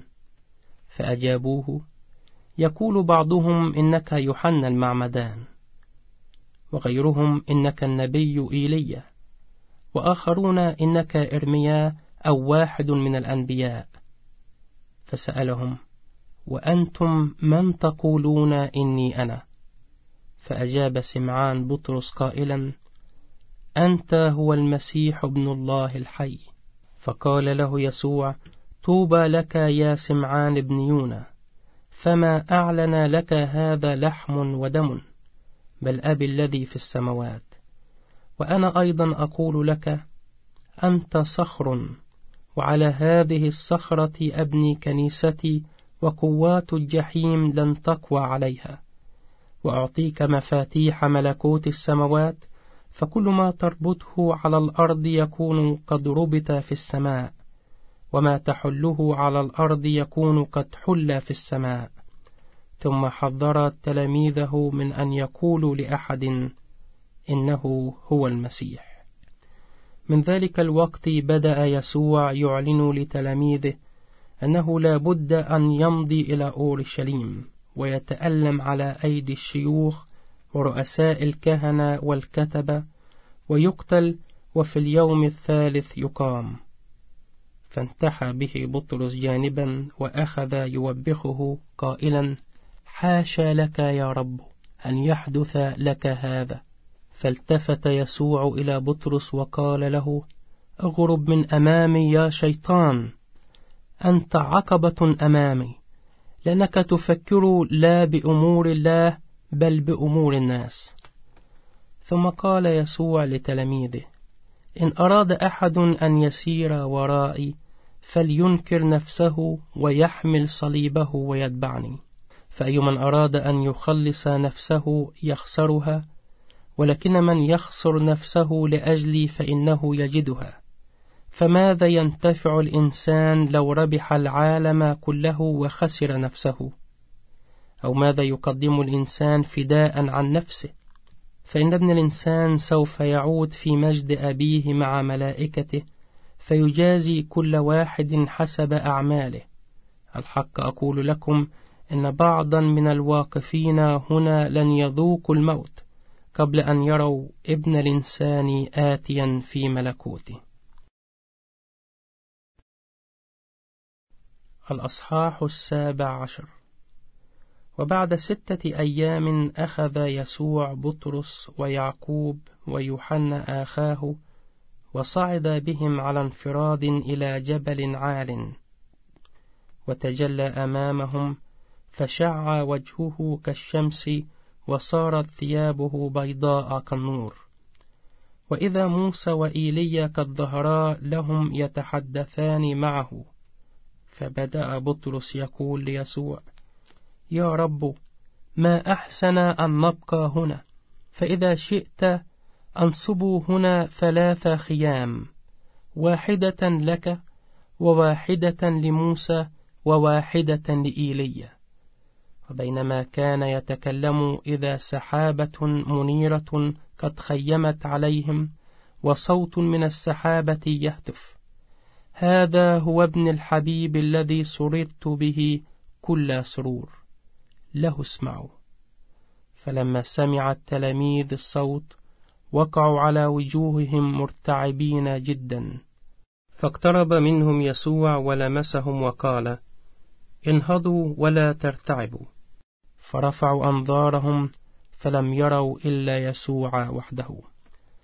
وفيما هم نازلون من الجبل أوصاهم يسوع قائلا لا تخبروا أحدا بما رأيتم حتى يقوم ابن الإنسان من بين الأموات. فسأله تلاميذه لماذا إذا يقول الكتبة إن إيليا لا بد أن يأتي قبلا؟ فأجابهم قائلا حقا إن إيليا يأتي قبلا ويصلح كل شيء. على أن يقول لكم قد جاء إيليا ولم يعرفوه. بل فعلوا به كل ما شاءوا. كذلك ابن الإنسان أيضا على وشك أن يتألم على أيديهم. عندئذ فهم التلاميذ أنه كلمهم عن يوحنا المعمدان. ولما وصلوا إلى الجمع تقدم رجل إلى يسوع وجثى أمامه وقال يا سيد ارحم ابني لأنه مصاب بالصرع. وهو يتعذب عذابا شديدا وكثيرا ما يسقط في النار أو في الماء. وقد أحضرته إلى تلاميذك فلم يستطيعوا أن يشفوه. فأجاب يسوع قائلا أيها الجيل غير المؤمن والأعوج إلى متى أبقى معكم؟ إلى متى أحتملكم؟ أحضروه إلي هنا. وزجر يسوع الشيطان فخرج من الصبي. وشفي من تلك الساعة ثم تقدم التلاميذ إلى يسوع على انفراد وسألوه لماذا عجزنا نحن أن نطرد الشيطان؟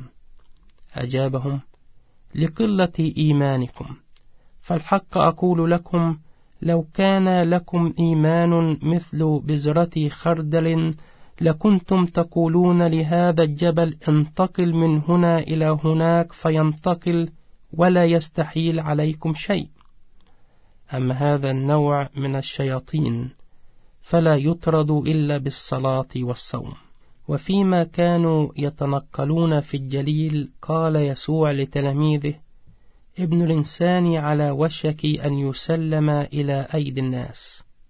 فيقتلونه وفي اليوم الثالث يقوم. فحزنوا حزنا شديدا. ولما وصلوا إلى كفر ناحوم جاء جبات ضريبة الدرهمين للهيكل إلى بطرس وقالوا ألا يؤدي معلمكم الدرهمين؟ فأجاب بلى. وما إن دخل بطرس البيت حتى بادره يسوع بالسؤال ما رأيك يا سمعان؟ ممن يستوفي ملوك الأرض الجزية أو الضريبة؟ أمن أبناء بلادهم أم من الأجانب؟ أجاب بطرس من الأجانب فقال له يسوع إذن الأبناء أحرار ولكن لكي لا نضع لهم عثرة اذهب إلى البحيرة والقي صنارة الصيد وامسك السمكة التي تطلع أولا ثم افتح فمها تجد فيه قطعة نقد بقيمة أربعة دراهم. فخذها وأد الضريبة عني وعنك. الأصحاح الثامن عشر. في تلك الساعة تقدم التلاميذ إلى يسوع يسألونه من هو الأعظم إذا في ملكوت السماوات فدعا إليه ولدا صغيرا وأوقفه وسطهم وقال الحق أقول لكم إن كنتم لا تتحولون وتصيرون مثل الأولاد الصغار فلن تدخلوا ملكوت السماوات أبدا. فمن اتضع فصار مثل هذا الولد الصغير فهو الأعظم في ملكوت السماوات. ومن قبل باسمي ولدا صغيرا مثل هذا فقد قبلني. ومن كان عثرة لأحد هؤلاء الصغار المؤمنين بي فأفضل له لو علق في عنقه حجر الرحى وأغرق في أعماق البحر. الويل للعالم من العثرات فلابد أن تأتي العثرات ولكن الويل لمن تأتي العثرات على يده. فإن كانت يدك أو رجلك فخا لك فاقطعها وألقها عنك أفضل لك أن تدخل الحياة ويدك أو رجلك مقطوعة من أن تطرح في النار الأبدية. وإن كانت عينك فخا لك فاقلعها وألقها عنك. أفضل لك أن تدخل الحياة وعينك مقلوعة من أن تطرح في جهنم النار ولك عينان. إياكم أن تحتقروا أحدا من هؤلاء الصغار. فإني أقول لكم إن ملائكتهم في السماء يشاهدون كل حين وجه أبي الذي في السماوات. فإن ابن الإنسان قد جاء لكي يخلص الهالكين. ما رأيكم في إنسان كان عنده مئة خروف فضل واحد منها؟ أفلا يترك التسعة والتسعين في الجبال ويذهب يبحث عن الضال؟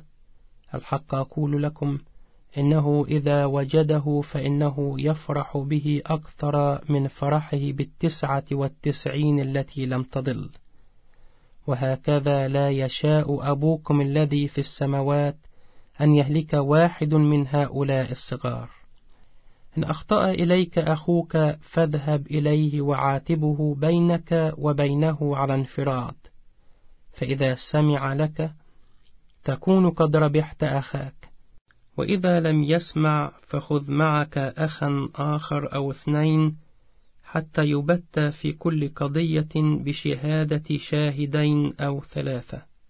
فإذا لم يسمع لهما فاعرض الأمر على الكنيسة. فإذا لم يسمع للكنيسة أيضا فليكن عندك كالوثني وجاب الضرائب. فالحق أقول لكم إن كل ما تربطونه على الأرض يكون قد ربط في السماء وما تحلونه على الأرض يكون قد حل في السماء. وأيضا أقول لكم إذا اتفق اثنان منكم على الأرض في أي أمر مهما كان ما يطلبانه فإن ذلك يكون لهما من قبل أبي الذي في السماوات. فإنه حيثما اجتمع اثنان أو ثلاثة باسمي فأنا هناك في وسطهم. عندئذ تقدم إليه بطرس وسأله يا رب كم مرة يخطئ إلي أخي فأغفر له؟ هل إلى سبع مرات؟ فأجابه يسوع لا إلى سبع مرات بل إلى سبعين سبع مرات. لهذا السبب يشبه ملكوت السماوات بإنسان ملك أراد أن يحاسب عبيده فلما شرع يحاسبهم. أحضر إليه واحد مديون بعشرة آلاف وزنة وإذ لم يكن عنده ما يوفي به دينه أمر سيده أن يباع هو وزوجته وأولاده وكل ما يملك ليوفي الدين. لكن العبد خر أمامه ساجدا وقائلا يا سيد أمهلني فأوفي لك الدين كله. فأشفق سيد ذلك العبد عليه فأطلق سراحه وسامحه بالدين. ولكن لما خرج ذلك العبد قصد واحدا من زملائه العبيد كان مديونا له بمائة دينار فقبض عليه وأخذ بخناقه قائلا أوفني ما عليك. فخر زميله العبد أمامه وقال متوسلا امهلني فأوفيك. فلم يقبل بل مضى وألقاه في السجن حتى يوفي ما عليه. وإذ شاهد زملاؤه العبيد ما جرى حزنوا جدا فمضوا وأخبروا سيدهم بكل ما جرى. فاستدعاه سيده وقال له أيها العبد الشرير ذلك الدين كله سامحتك به لأنك توسلت إلي. أفما كان يجب أن ترحم زميلك العبد كما رحمتك أنا؟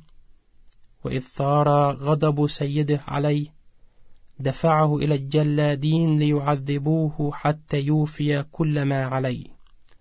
هكذا يفعل بكم أبي السماوي إن لم يغفر كل منكم لأخيه من قلبه. الأصحاح التاسع عشر. بعدما أنهى يسوع هذا الكلام انتقل من الجليل ذاهبا إلى نواحي منطقة اليهودية إلى ما وراء نهر الأردن وتبعته جموع كثيرة فشفى مرضاهم هناك. وتقدم إليه بعض الفريسيين يجربونه فسألوه هل يحل للرجل أن يطلق زوجته لأي سبب؟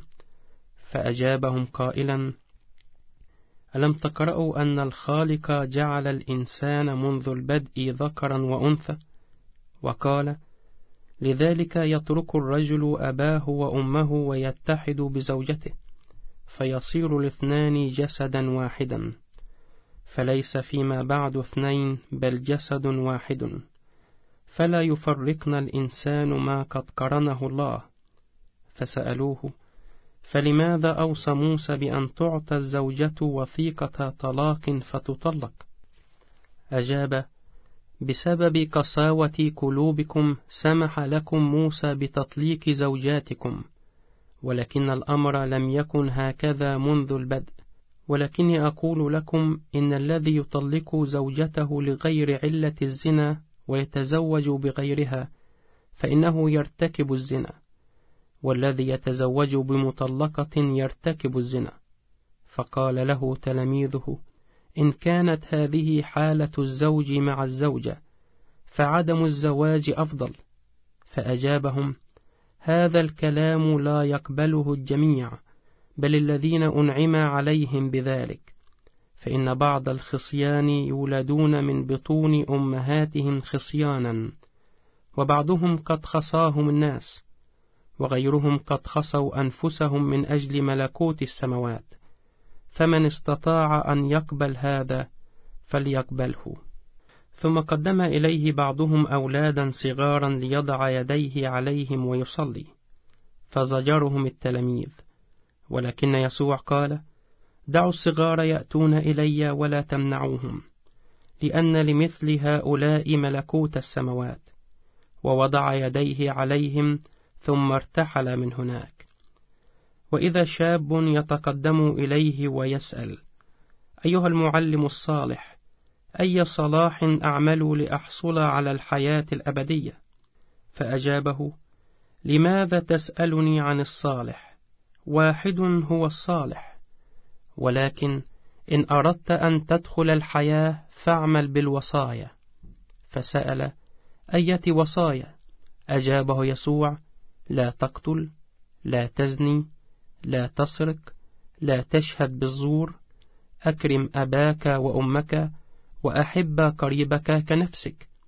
قال له الشاب هذه كله عملت بها منذ صغري فماذا ينقصني بعد؟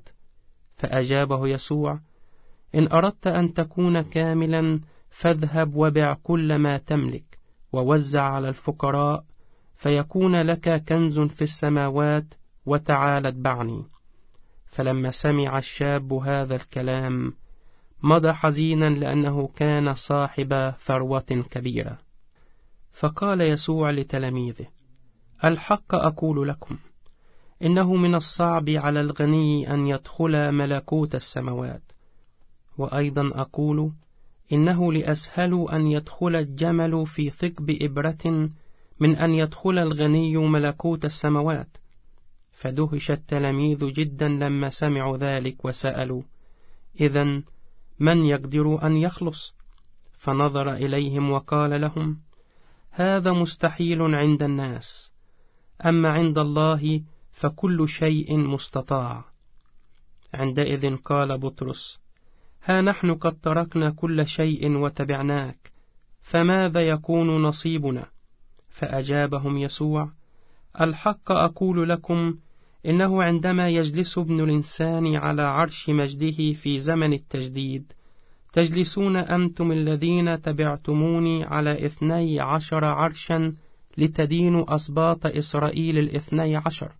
فأي من ترك بيوتا أو إخوة أو أخوات أو أبا أو أما أو أولادا أو أراضي من أجل اسمي ينال مئة ضعف ويرث الحياة الأبدية. ولكن أولون كثيرون يصيرون آخرين وآخرون كثيرون يصيرون أولين. الأصحاح العشرون. فإن ملكوت السماوات يشبه بإنسان رب بيت خرج في الصباح الباكر ليستأجر عمالا لكرمه. واتفق مع العمال على أن يدفع لكل منهم دينارا في اليوم وأرسلهم إلى كرمه. ثم خرج نحو الساعة التاسعة صباحا فلقي في ساحة المدينة عمالا آخرين بلا عمل. فقال لهم اذهبوا أنتم أيضا واعملوا في كرمي فأعطيكم ما يحق لكم. فذهبوا. ثم خرج إلى الساحة أيضا نحو الساعة الثانية عشر ظهرا ثم نحو الثالثة بعد الظهر أرسل مزيدا من العمال إلى كرمه. ونحو الساعة الخامسة بعد الظهر خرج أيضا فلقي عمالا آخرين بلا عمل فسألهم لماذا تقفون هنا طول النهار بلا عمل؟ أجابوه لأنه لم يستأجرنا أحد. فقال اذهبوا أنتم أيضا إلى كرمي.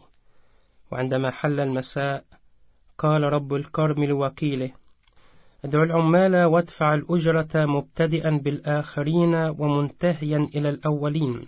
فجاء الذين عملوا من الساعة الخامسة وأخذ كل منهم دينارا. فلما جاء الأولون ظنوا أنهم سيأخذون أكثر ولكن كل واحد منهم نال دينارا واحدا. وفيما هم يقبضون الدينار تذمروا على رب البيت قائلين هؤلاء الآخرون عملوا ساعة واحدة فقط وأنت قد ساويتهم بنا نحن الذين عملنا طول النهار تحت حر الشمس. فأجاب واحدا منهم يا صاحبي أنا ما ظلمتك. ألم تتفق معي على دينار؟ خذ ما هو لك وامض في سبيلك. فأنا أريد أن أعطي هذا الأخير مثلك. أما يحق لي أن أتصرف بمالي كما أريد؟ أم أن عينك شريرة لأنني أنا صالح؟ فهكذا يصير الآخرون أولين والأولون آخرين. وفيما كان يسوع صاعدا إلى أورشليم. انفرد بالتلاميذ الاثني عشر في الطريق وقال لهم ها نحن صاعدون إلى أورشليم حيث يسلم ابن الإنسان إلى رؤساء الكهنة والكتبة فيحكمون عليه بالموت ويسلمونه إلى أيدي الأمم فيسخرون منه ويجلدونه ويصلبونه ولكنه في اليوم الثالث يقوم. فتقدمت إليه أم ابني زبدي وهما معها وسجدت له تطلب منه معروفا. فقال لها ماذا تريدين؟ أجابت قل أن يجلس ابناي هذان أحدهما عن يمينك والآخر عن يسارك في مملكتك. فأجاب يسوع قائلا ليعقوب ويوحنا أنتما لا تدريان ما تطلبان. أتقدران أن تشربا الكأس التي سأشربها؟ أجاباه نعم نقدر. فقال لهما كأسي سوف تشربان أما الجلوس عن يميني وعن يساري فليس لي أن أمنحه إلا للذين أعده أبي لهم. وعندما سمع التلاميذ العشرة بذلك استاءوا من الأخوين فاستدعاهم يسوع جميعا وقال تعلمون أن حكام الأمم يسودونهم وعظماؤهم يتسلطون عليهم. وأما أنتم فلا يكن ذلك بينكم. وإنما أي من أراد أن يصير عظيما بينكم فليكن لكم خادما. وأي من أراد أن يصير أولا فيكم فليكن لكم عبدا. فهكذا ابن الإنسان قد جاء لا ليخدم بل ليخدم ويبذل نفسه فدية عن كثيرين. وفيما كان يسوع وتلاميذه يغادرون أريحة تبعه جمع كبير وإذا أعميان كانا جالسين على جانب الطريق. ما إن سمعا أن يسوع يمر من هناك حتى صرخا ارحمنا يا رب يا ابن داود. ولكن الجمع زجرهما ليسكتا فأخذا يزيدان الصراخ. ارحمنا يا رب يا ابن داود. فتوقف يسوع ودعاهما إليه وسألهما ماذا تريدان أن أفعل لكما؟ أجاباه أن تفتح لنا أعيننا يا رب. فأخذته الشفقة عليهما ولمس أعينهما فعادت أعينهما تبصر حالا وانطلقا يتبعانه. الأصحاح الحادي والعشرون. ولما اقتربوا من أورشليم ووصلوا إلى قرية بيت فاجي عند جبل الزيتون أرسل يسوع اثنين من تلاميذه قائلا لهما ادخلا القرية المقابلة لكما تجد في الحال آتانا مربوطة ومعها جحش فحلا رباطهما وأحضراهما إلي. فإن اعترضكما أحد فقولا الرب بحاجة إليهما وفي الحال يرسلهما. وقد حدث هذا ليتم ما قيل بلسان النبي القائل بشروا ابنة صهيون ها هو ملكك قادم إليك وديعا يركب على آتان وجحش ابن آتان فذهب التلميذين وفعلا ما أمرهما به يسوع. فأحضرا الآتان والجحش ووضعا عليهما ثيابهما فركبا. وأخذ الجمع الكبير جدا يفرشون الطريق بثيابهم وأخذ آخرون يقطعون أغصان الشجر ويفرشون بها الطريق. وكانت الجموع التي تقدمت يسوع والتي مشت خلفه تهتف قائلة أوصلنا لابن داود مبارك الآتي باسم الرب. أوصلنا في الأعالي ولما دخل يسوع أورشليم ضجت المدينة كلها وتساءل أهلها من هو هذا؟ فأجابت الجموع هذا هو يسوع النبي الذي من الناصرة بالجليل ثم دخل يسوع الهيكل وطرد من ساحته جميع الذين كانوا يبيعون ويشترون وقلب موائد الصيارفة ومقاعد باعة الحمام وقال لهم قد كتب إن بيتي بيتا للصلاة يدعى أما أنتم فجعلتموه مغارة لصوص وبينما هو في الهيكل تقدم إليه عمي وعرج فشفاهم. فتضايق رؤساء الكهنة والكتبة عندما رأوا العجائب التي أجراها والأولاد في الهيكل يهتفون أوصلنا لابن داود. فسألوه أتسمع ما يقوله هؤلاء؟ فأجابهم يسوع نعم. ألم تقرأوا قط من أفواه الأطفال والردعاء أعددت تسبيحا؟ ثم فارقهم وانطلق خارجا من المدينة إلى قرية بيت عنيا وبات فيها. وفي صباح اليوم التالي وهو راجع إلى المدينة جاع. وإذا رأى شجرة تين على جانب الطريق اتجه إليها ولكنه لم يجد عليها إلا الورق فقال لها لا يكن منك ثمر بعد إلى الأبد فيبست التينة في الحال.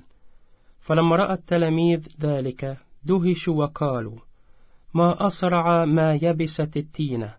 فأجابهم الحق أقول لكم إن كان لكم إيمان ولا تشكون فإنكم تعملون لا مثل ما عملت بالتينة وحسب بل إن كنتم تقولون لهذا الجبل انقلع وانطرح في البحر فإن ذلك يحدث.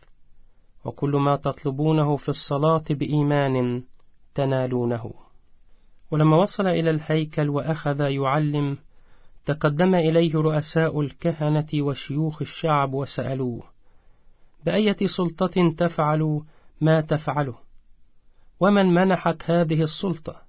فأجابهم يسوع قائلا وأنا أيضا أسألكم أمرا واحدا فإن أجبتموني أقول لكم أنا كذلك بأية سلطة أفعل ما أفعله من أين كانت معمودية يوحنا؟ من السماء أم من الناس؟ فتشاوروا فيما بينهم قائلين إن قلنا له إنها من السماء يقول لنا فلماذا لم تصدقوه؟ وإن قلنا من الناس نخشى أن يثور علينا جمهور الشعب لأنهم كلهم يعتبرون يوحنا نبيا. فأجابوه لا ندري. فرد قائلا ولا أنا أقول لكم بأية سلطة أفعل ما أفعله. ولكن ما رأيكم؟ كان لإنسان ولدان فقصد أولهما وقال له يا ولدي اذهب اليوم واعمل في كرمي فأجاب لا أريد. ولكنه بعد ذلك ندم وذهب. ثم قصد الرجل ولده الثاني وقال له ما قاله للأول فأجاب لبيك يا سيدي ولكنه لم يذهب. فأي الاثنين عمل بإرادة الآب؟ فقالوا الأول. فقال لهم يسوع الحق أقول لكم إن جبات الضرائب والزانيات سيسبقونكم في الدخول إلى ملكوت الله. فقد جاء يوحنا إليكم سالكا طريق الحق فلم تصدقوه. أما جبات الضرائب والزانيات فصدقوه. ولما رأيتم أنتم هذا لم تندموا بعد ذلك لتصدقوه. اسمعوا مثلا آخر. غرس إنسان رب بيت كرما وأقام حوله سياجا وحفر فيه معصرة وبنى فيه برج حراسة ثم سلم الكرم إلى مزارعين وسافر ولما حان أوان القطاف أرسل عبيده إلى المزارعين ليتسلم ثمر الكرم. فقبض المزارعون على العبيد فضربوا أحدهم وقتلوا غيره ورجموا الآخر بالحجارة. ثم أرسل رب البيت ثانية عبيدا آخرين أكثر عددا من الأولين. ففعل المزارعون بهؤلاء ما فعلوه بأولئك. وأخيرا أرسل إليهم ابنه قائلا سيهابون ابني. فما أن رأى المزارعون الابن حتى قال بعضهم لبعض هذا هو الوريث. تعالوا نقتله. فنستولي على ميراثه. ثم قبضوا عليه وطرحوه خارج الكرم وقتلوه. فعندما يعود رب الكرم ماذا يفعل بأولئك المزارعين؟ أجابوه أولئك الأشرار يهلكهم شر هلاك ثم يسلم الكرم إلى مزارعين آخرين يؤدون له الثمر في أوانه. فقال لهم يسوع ألم تقرأوا في الكتاب؟ الحجر الذي رفضه البناة هو نفسه صار حجر الزاوية الأساسي. من الرب كان هذا وهو عجيب في أنظارنا. لذلك أقول لكم إن ملكوت الله سينزع من أيديكم ويسلم إلى شعب يؤدي ثمره. فأي من يقع على هذا الحجر يتكسر ومن يقع الحجر عليه يسحقه سحقا. ولما سمع رؤساء الكهنة والفريسيون المثلين اللذين ضربهما يسوع أدركوا أنه كان يعنيهم هم ومع أنهم كانوا يسعون إلى القبض عليه فقد كانوا خائفين من الجموع لأنهم كانوا يعتبرونه نبيا. الأصحاح الحادي والعشرون. ولما اقتربوا من أورشليم ووصلوا إلى قرية بيت فاجي عند جبل الزيتون أرسل يسوع اثنين من تلاميذه قائلا لهما ادخلا القرية المقابلة لكما تجد في الحال آتانا مربوطة ومعها جحش فحلا رباطهما وأحضراهما إلي فإن اعترضكما أحد فقولا الرب بحاجة إليهما. وفي الحال يرسلهما. وقد حدث هذا ليتم ما قيل بلسان النبي القائل بشروا ابنة صهيون ها هو ملكك قادم إليك وديعا يركب على آتان وجحش ابن آتان فذهب التلميذين وفعلا ما أمرهما به يسوع. فأحضرا الآتان والجحش ووضعا عليهما ثيابهما فركبا. وأخذ الجمع الكبير جدا يفرشون الطريق بثيابهم وأخذ آخرون يقطعون أغصان الشجر ويفرشون بها الطريق. وكانت الجموع التي تقدمت يسوع والتي مشت خلفه تهتف قائلة أوصلنا لابن داود مبارك الآتي باسم الرب. أوصلنا في الأعالي ولما دخل يسوع أورشليم ضجت المدينة كلها وتساءل أهلها من هو هذا؟ فأجابت الجموع هذا هو يسوع النبي الذي من الناصرة بالجليل ثم دخل يسوع الهيكل وطرد من ساحته جميع الذين كانوا يبيعون ويشترون وقلب موائد الصيارفة ومقاعد باعة الحمام وقال لهم قد كتب إن بيتي بيتا للصلاة يدعى أما أنتم فجعلتموه مغارة لصوص وبينما هو في الهيكل تقدم إليه عمي وعرج فشفاهم فتضايق رؤساء الكهنة والكتبة عندما رأوا العجائب التي أجراها والأولاد في الهيكل يهتفون أوصلنا لابن داود. فسألوه أتسمع ما يقوله هؤلاء؟ فأجابهم يسوع نعم ألم تقرأوا قط من أفواه الأطفال والردعاء أعددت تسبيحا؟ ثم فارقهم وانطلق خارجا من المدينة إلى قرية بيت عنيا وبات فيها.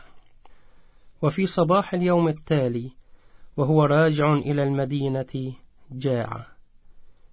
وإذا رأى شجرة تين على جانب الطريق اتجه إليها ولكنه لم يجد عليها إلا الورق فقال لها لا يكن منك ثمر بعد إلى الأبد. فيبست التينة في الحال. فلما رأى التلاميذ ذلك دهشوا وقالوا ما أسرع ما يبست التينة. فأجابهم الحق أقول لكم إن كان لكم إيمان ولا تشكون فإنكم تعملون لا مثل ما عملت بالتينة وحسب بل إن كنتم تقولون لهذا الجبل انقلع وانطرح في البحر فإن ذلك يحدث. وكل ما تطلبونه في الصلاة بإيمان تنالونه. ولما وصل إلى الهيكل وأخذ يعلم تقدم إليه رؤساء الكهنة وشيوخ الشعب وسألوه بأية سلطة تفعل ما تفعله ومن منحك هذه السلطة؟ فأجابهم يسوع قائلا وأنا أيضا أسألكم أمرا واحدا فإن أجبتموني أقول لكم أنا كذلك بأية سلطة أفعل ما أفعله. من أين كانت معمودية يوحنا؟ من السماء أم من الناس؟ فتشاوروا فيما بينهم قائلين إن كنا له إنها من السماء يقول لنا فلماذا لم تصدقوه؟ وإن قلنا من الناس نخشى أن يثور علينا جمهور الشعب لأنهم كلهم يعتبرون يوحنا نبيا. فأجابوه لا ندري. فرد قائلا ولا أنا أقول لكم بأية سلطة أفعل ما أفعله. ولكن ما رأيكم؟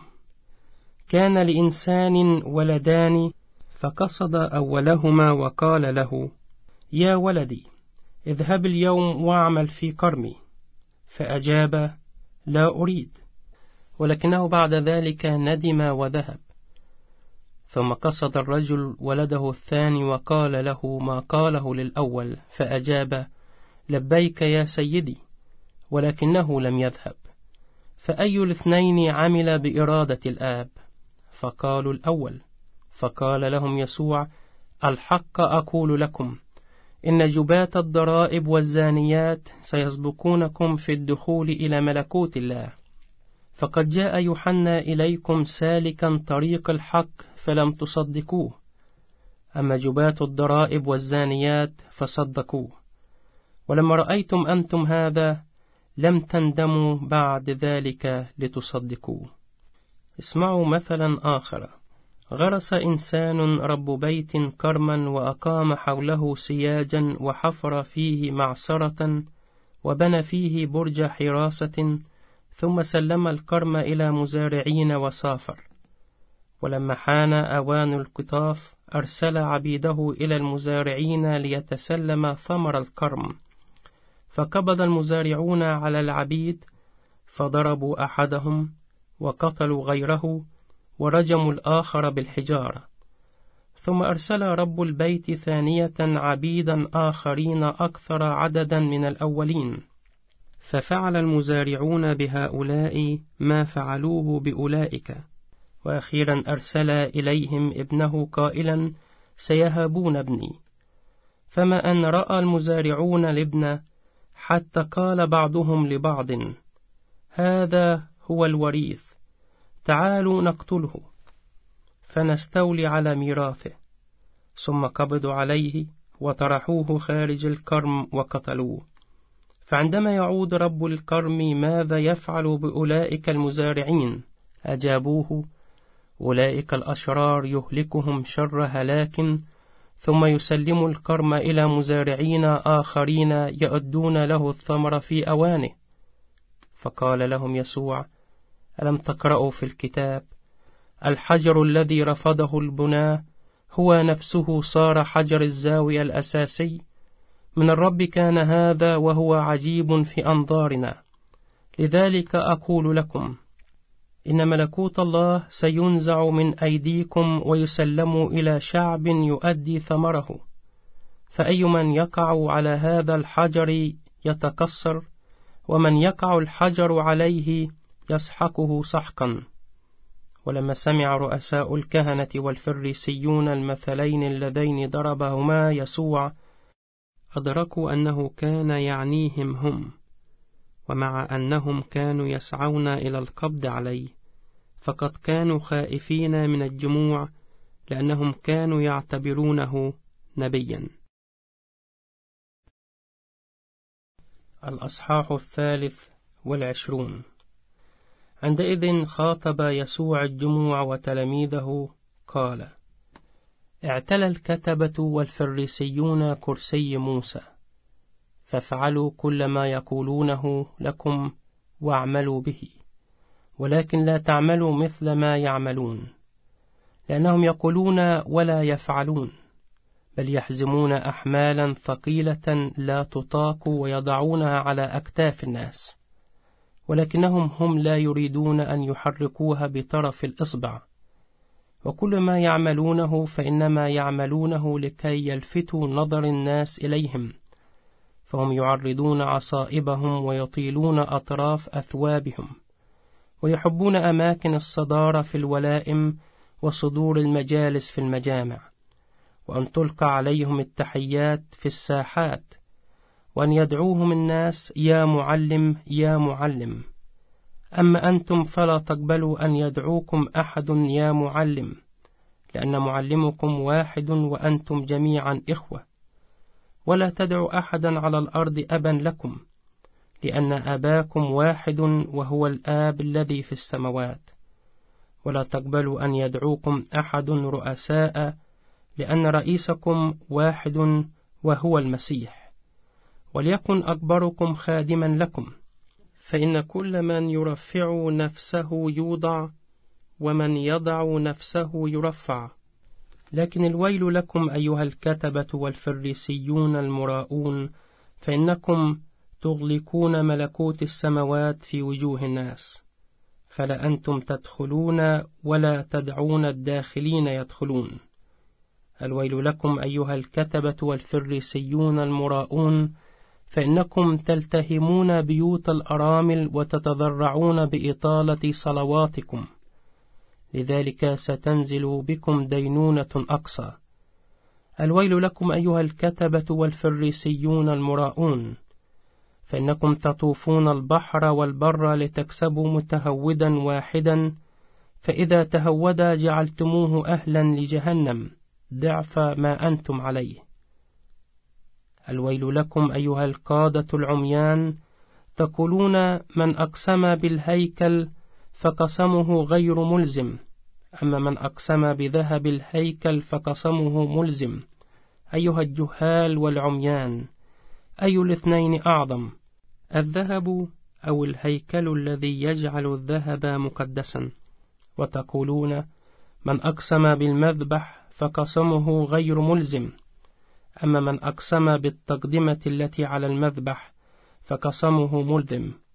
أيها العميان أي الاثنين أعظم التقدمة أو المذبح الذي يجعل التقدمة مقدسة؟ فإن من أقسم بالمذبح فقد أقسم به وبكل ما عليه ومن أقسم بالهيكل فقد أقسم به وبالساكن فيه ومن أقسم بالسماء فقد أقسم بعرش الله وبالجالس عليه. الويل لكم أيها الكتبة والفريسيون المراؤون فإنكم تؤدون حتى عشور النعنع والشبث والكمون وقد أهملتم أهم ما في الشريعة العدل والرحمة والأمانة. كان يجب أن تفعلوا هذه ولا تغفلوا تلك. أيها القادة العميان إنكم تصفون الماء من البعوضة ولكنكم تبلعون الجمل. الويل لكم أيها الكتبة والفريسيون المراؤون فإنكم تنظفون الكأس والصحف من الخارج ولكنهما من الداخل ممتلئتان بما كسبتم بالنهب والطمع. أيها الفريسي الأعمى نظف أولا داخل الكأس ليصير خارجها أيضا نظيفا. الويل لكم أيها الكتبة والفريسيون المراؤون فإنكم كالقبور المطلية بالكلس تبدو جميلة من الخارج ولكنها من الداخل ممتلئة بعظام الموت وكل نجاسة. كذلك أنتم أيضا تبدون للناس أبرارا ولكنكم من الداخل ممتلئون بالرياء والفسق. الويل لكم أيها الكتبة والفريسيون المراؤون فإنكم تبنون قبور الأنبياء وتزينون مدافن الأبرار وتقولون لو عشنا في زمن آبائنا لما شاركناهم في سفك دم الأنبياء. فبهذا تشهدون على أنفسكم بأنكم أبناء قاتلي الأنبياء. فاكملوا ما بدأه آباؤكم ليطفح الكيل. أيها الحياة أولاد الأفاعي كيف تفلتون من عقاب جهنم؟ لذلك ها أنا أرسل إليكم أنبياء وحكماء ومعلمين فبعضهم تقتلون وتصلبون وبعضهم تجلدون في مجامعكم وتطاردونهم من مدينة إلى أخرى. وبهذا يقع عليكم كل دم زكي سفك على الأرض من دم هابيل البار إلى دم زكريا بن برخية الذي قتلتموه بين محراب الهيكل والمذبح. الحق أقول لكم إن عقاب ذلك كله سينزل بهذا الجيل. يا أورشليم يا أورشليم يا قاتلة الأنبياء وراجمة المرسلين إليها. كم مرة أردت أن أجمع أولادك كما تجمع الدجاجة فراخها تحت جناحيها فلم تريدوا. ها إن بيتكم يترك لكم خرابا. فإني أقول لكم إنكم لن تروني من الآن حتى تقولوا مبارك الآتي باسم الرب. الأصحاح الرابع والعشرون. ثم خرج يسوع من الهيكل ولما غادره تقدم إليه تلاميذه ولفتوا نظره إلى مباني الهيكل فقال لهم أما ترون هذه المباني كلها؟ الحق أقول لكم لن يترك هنا حجر فوق حجر إلا ويهدم. وبينما كان جالسا على جبل الزيتون تقدم إليه التلاميذ على انفراد وقالوا له أخبرنا متى يحدث هذا وما هي علامة رجوعك وانتهاء الزمان؟ فأجاب يسوع انتبهوا لا يضللكم أحد.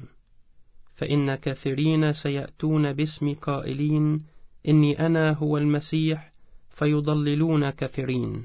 وسوف تسمعون بحروب وأخبار حروب فإياكم أن ترتعبوا فلا بد أن يحدث هذا كله.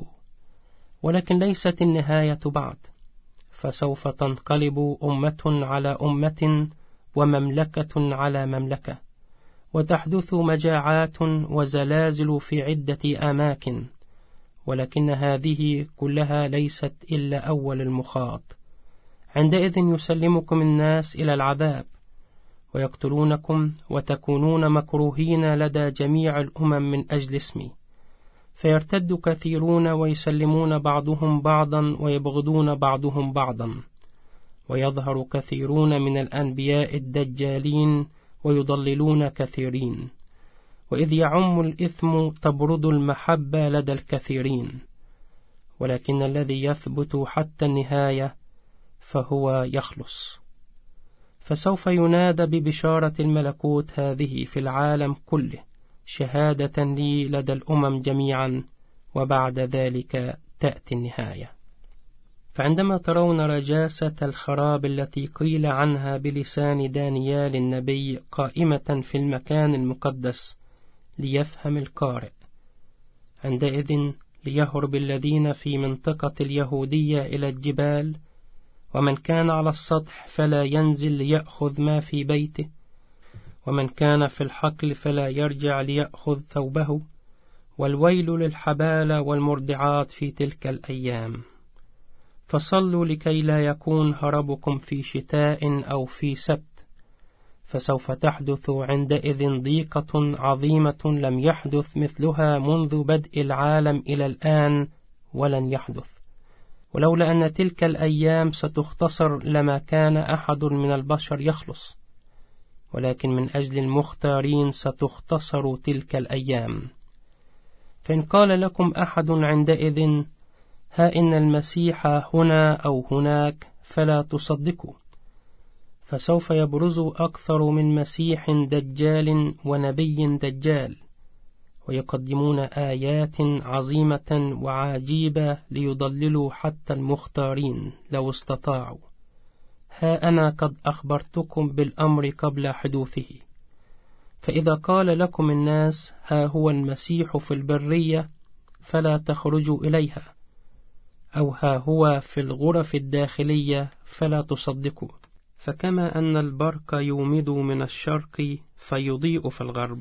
هكذا يكون رجوع ابن الإنسان فحيث توجد الجيفة تتجمع النصور. وحالا بعد الضيق في تلك الأيام تظلم الشمس ويحجب القمر ضوءه وتتهاوى النجوم من السماء وتتزعزع قوات السماوات. وعندئذ تظهر آية ابن الإنسان في السماء فتنتحب قبائل الأرض كلها. ويرون ابن الإنسان آتيا على سحب السماء بقدرة ومجد عظيم. ويرسل ملائكته بصوت بوق عظيم ليجمعوا مختاريه من الجهات الأربع من أقاصي السماوات إلى أقاصيها. وتعلموا هذا المثل من شجرة التين.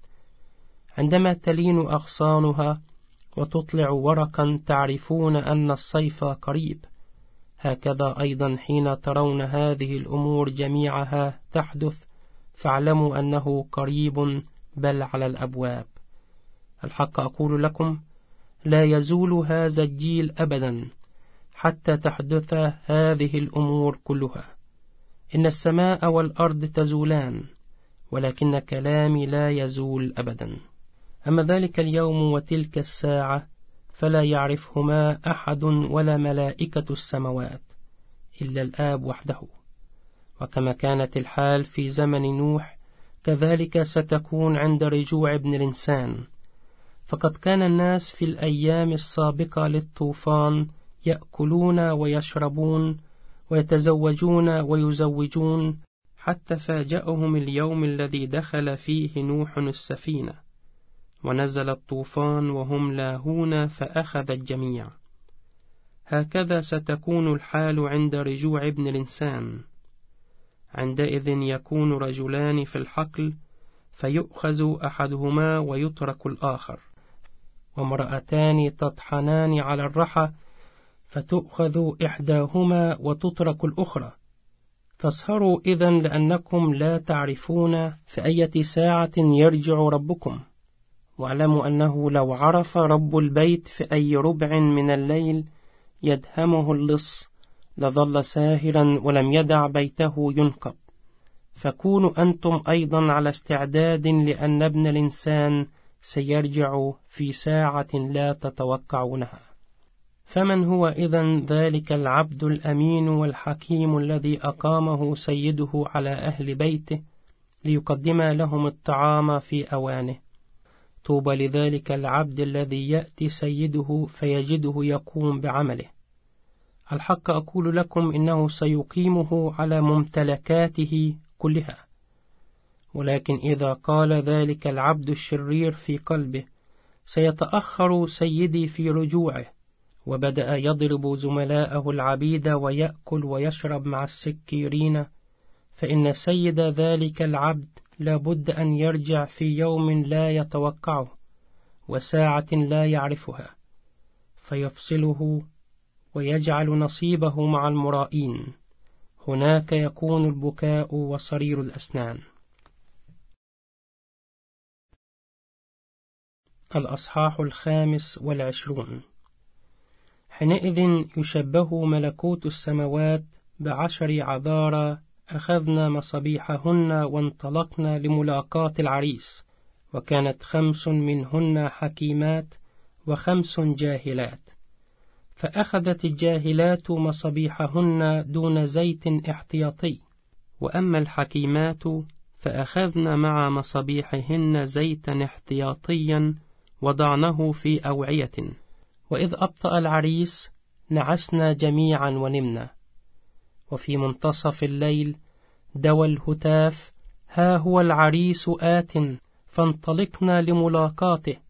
فنهضت العذارى جميعا وجهزن مصابيحهن وقالت الجاهلات للحكيمات أعطيننا بعض الزيت من عندكن فإن مصابيحنا تنطفئ. فأجابت الحكيمات ربما لا يكفي لنا ولكن. فاذهبنا بالأحرى إلى بائع الزيت واشترينا لكن وبينما جاهلات ذاهبات للشراء وصل العريس فدخلت المستعدات معه إلى قاعة العرس وأغلق الباب. وبعد حين رجعت العذارى الأخريات وكن يا سيد يا سيد افتح لنا. فأجاب العريس الحق أقول لكن إني لا أعرفكن. فاسهروا إذن لأنكم لا تعرفون اليوم ولا الساعة. فذلك أشبه بإنسان مسافر استدعى عبيده وسلمهم أمواله فأعطى واحدا منهم خمس وزنات من الفضة وأعطى آخر وزنتين وأعطى الثالث وزنة واحدة. كل واحد على قدر طاقته ثم سافر. وفي الحال مضى الذي أخذ الوزنات الخمس وتاجر بها فربح خمس وزنات أخرى وعمل مثله الذي أخذ الوزنتين فربح وزنتين أخريين. ولكن الذي أخذ الوزنة الواحدة مضى وحفر حفرة في الأرض وطمر مال سيده. وبعد مدة طويلة رجع سيد أولئك العبيد واستدعاهم ليحاسبهم فجاءه الذي أخذ الوزنات الخمس وقدم الوزنات الخمس الأخرى وقال يا سيد أنت سلمتني خمس وزنات فهذه خمس وزنات غيرها ربحتها. فقال له سيده حسنا فعلت أيها العبد الصالح والأمين. كنت أمينا على القليل فسأقيمك على الكثير. ادخل إلى فرح سيدك. ثم جاءه أيضا الذي أخذ الوزنتين وقال يا سيد أنت سلمتني وزنتين فهاتان وزنتان غيرهما ربحتهما. فقال له سيده حسنا فعلت أيها العبد الصالح والأمين كنت أمينا على القليل فسأقيمك على الكثير. ادخل إلى فرح سيدك.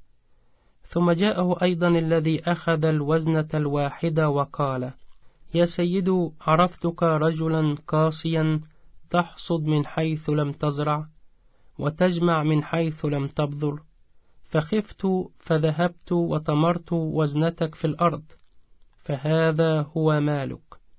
فأجابه سيده أيها العبد الشرير الكسول عرفت أني أحصد من حيث لم أزرع وأجمع من حيث لم أبذر فكان يحسن بك أن تودع مالي عند الصيارفة لكي أسترده لدى عودتي مع فائدته. ثم قال لعبيده خذوا منه الوزنة واعطوها لصاحب الوزنات العشر. فإن كل من عنده يعطى المزيد فيفيض ومن ليس عنده فحتى الذي عنده ينتزع منه. أما هذا العبد الذي لا نفع منه. فاطرحوه في الظلمة الخارجية. هناك يكون البكاء وصرير الأسنان. وعندما يعود ابن الإنسان في مجده ومعه جميع ملائكته. فإنه يجلس على عرش مجده وتجتمع أمامه الشعوب كلها. فيفصل بعضهم عن بعض كما يفصل الراعي الغنم عن الماعز. فيوقف الغنم عن يمينه والماعز عن يساره ثم يقول الملك للذين عن يمينه تعالوا يا من باركهم أبي رثوا الملكوت الذي أعد لكم منذ إنشاء العالم. لأني جعت فأطعمتموني عطشت فسقيتموني كنت غريبا فآويتموني عريانا فكسوتموني مريضا فزرتموني سجيدا فأتيتم إلي. فيرد الأبرار قائلين يا رب متى رأيناك جائعا فأطعمناك؟ أو عطشانا فسقيناك؟ ومتى رأيناك غريبا فآويناك؟ أو عريانا فكسوناك؟ ومتى رأيناك مريضا أو سجينا فزرناك؟ فيجيبهم الملك الحق أقول لكم بما أنكم فعلتم ذلك بأحد إخوتي هؤلاء الصغار فبي فعلتم. ثم يقول للذين عن يساره تعد عني يا ملاعين إلى النار الأبدية المعدة لإبليس وأعوانه. لأني جعت فلم تطعموني وعطشت فلم تسقوني. كنت غريبا فلم تأووني عريانا فلم تكسوني. مريضا وسجينا فلم تزوروني. فيرد هؤلاء أيضا قائلين يا رب متى رأيناك جائعا أو عطشانا أو غريبا أو عريانا أو مريضا أو سجينا ولم نخدمك. فيجيبهم الحق أقول لكم بما إنكم لم تفعلوا ذلك بأحد إخوتي هؤلاء الصغار فبي لم تفعلوا. فيذهب هؤلاء إلى العقاب الأبدي والأبرار إلى الحياة الأبدية. الأصحاح السادس والعشرون. ولما أنهى يسوع هذه الأقوال كلها قال لتلاميذه أنتم تعرفون أنه بعد يومين يأتي الفصح فسوف يسلم ابن الإنسان ليصلب. وعندئذ اجتمع رؤساء الكهنة وشيوخ الشعب في دار رئيس الكهنة المدعو قيافة وتآمروا ليقبضوا على يسوع بمكر ويقتلوه. ولكنهم قالوا لا نفعل ذلك في العيد لئلا يحدث اضطراب بين الشعب. وإذ كان يسوع في بيت عنيا عند سمعان الأبرص جاءت إليه امرأة تحمل قارورة عطر غالي الثمن وسكبته على رأسه وهو متكئ. فاستاء التلاميذ لما رأوا ذلك وقالوا لماذا هذا التبذير؟ فقد كان يمكن أن يباع هذا العطر بكثير ويوهب الثمن للفقراء. وإذ علم يسوع بذلك قال لهم لماذا تضايقون هذه المرأة؟ قد عملت بي عملا حسنا فإن الفقراء عندكم في كل حين أما أنا فلن أكون عندكم في كل حين. فإنها إذ سكبت العطر على جسمي فقد فعلت ذلك إعدادا لدفني. والحق أقول لكم إنه حيث ينادى بهذا الإنجيل في العالم أجمع. يحدث أيضا بما عملته هذه المرأة إحياء لذكرها. عندئذ ذهب واحد من الاثني عشر وهو المدعو يهوذا الإسخريوطي إلى رؤساء الكهنة وقال كم تعطونني لأسلمه إليكم؟ فوزنوا له ثلاثين قطعة من الفضة ومن ذلك الوقت أخذ يهوذا يتحين الفرصة لتسليمه وفي اليوم الأول من أيام الفطير تقدم التلاميذ إلى يسوع يسألون أين تريد أن نجهز لك الفصح لتأكل؟ أجابهم ادخلوا المدينة واذهبوا إلى فلان وقولوا له المعلم يقول إن ساعتي قد اقتربت وعندك سأعمل الفصح مع تلاميذي. ففعل التلاميذ ما أمرهم به يسوع وجهزوا الفصح هناك. وعند المساء اتكأ الاثني عشر وبينما كانوا يأكلون قال الحق أقول لكم إن واحدا منكم سيسلمني. فاستولى عليهم الحزن الشديد. وأخذ كل منهم يسأله هل أنا يا رب؟ فأجاب الذي يغمس يده معي في الصحفة هو الذي يسلمني. إن ابن الإنسان لا بد أن يمضي كما قد كتب عنه ولكن الويل لذلك الرجل الذي على يده يسلم ابن الإنسان. كان خيرا لذلك الرجل لو لم يولد. فسأله يهوذا مسلمه هل أنا هو يا معلم؟ أجابه أنت قلت. وبينما كانوا يأكلون أخذ يسوع رغيفا وبارك وكسر وأعطى التلاميذ وقال خذوا كلوا هذا هو جسدي. ثم أخذ الكأس وشكر وأعطاهم قائلا اشربوا منها كلكم. فإن هذا هو دم الذي للعهد الجديد والذي يسفك من أجل كثيرين لمغفرة الخطايا.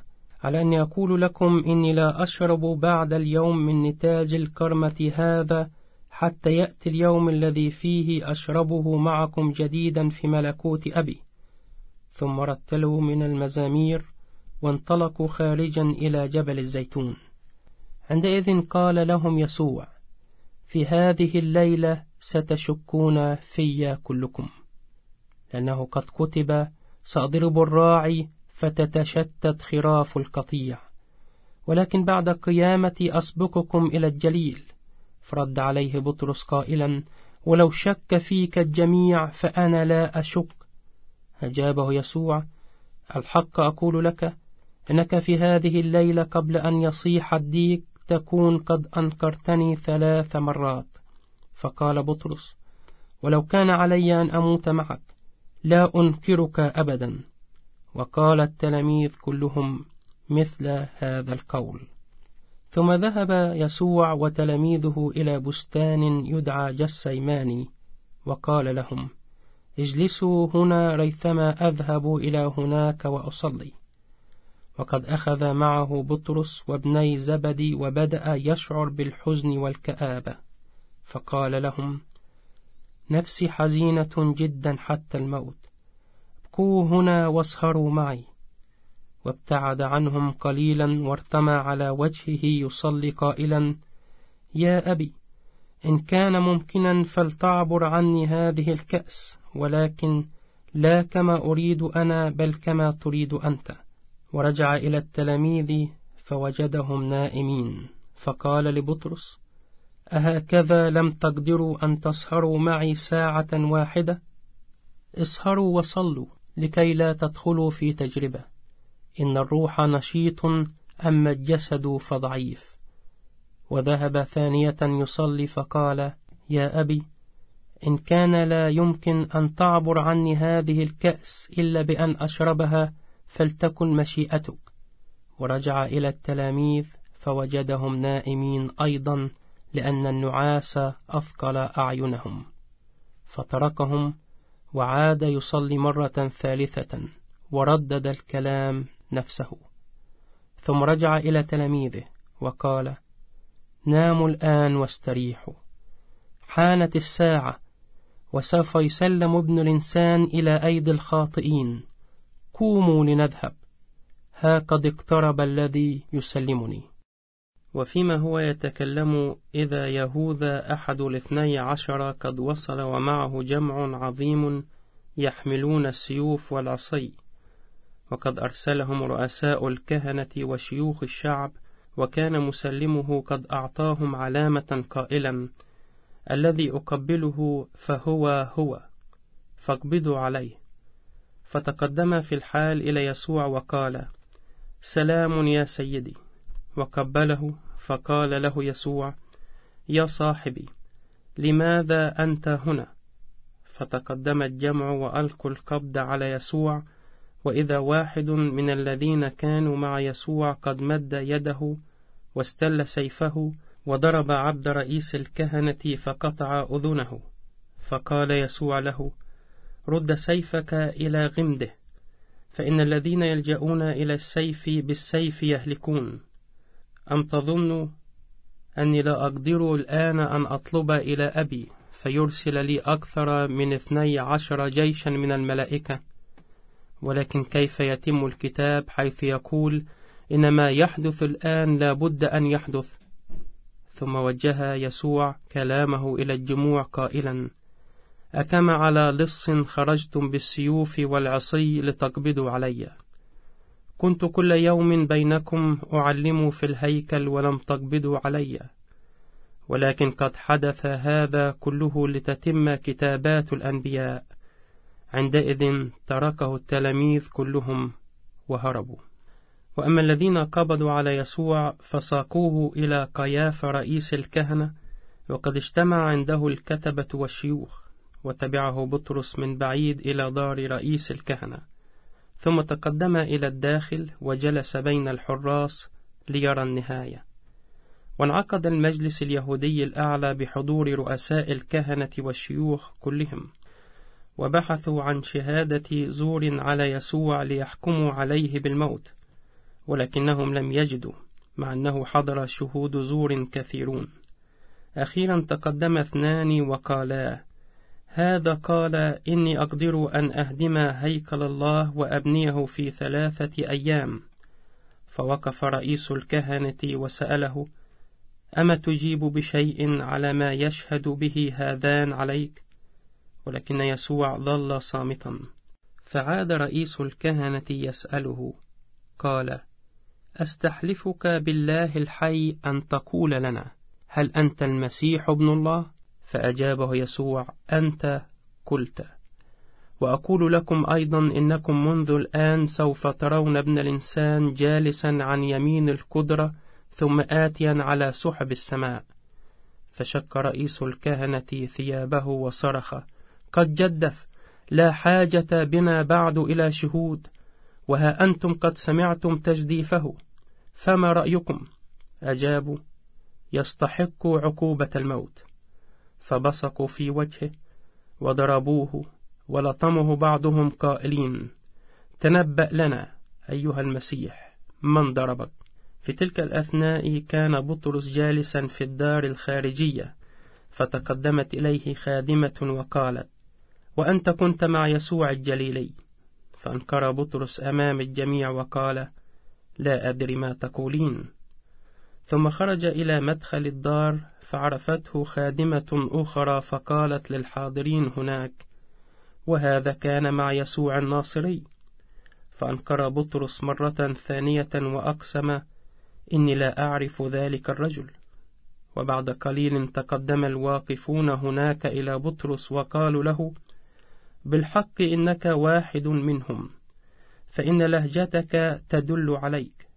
فابتدأ بطرس يلعن ويحلف قائلا إني لا أعرف ذلك الرجل. وفي الحال صاح الديك. فتذكر بطرس كلمة يسوع إذ قال له قبل أن يصيح الديك تكون قد أنكرتني ثلاث مرات. فخرج إلى الخارج وبكى بكاء مرا. الأصحاح السادس والعشرون.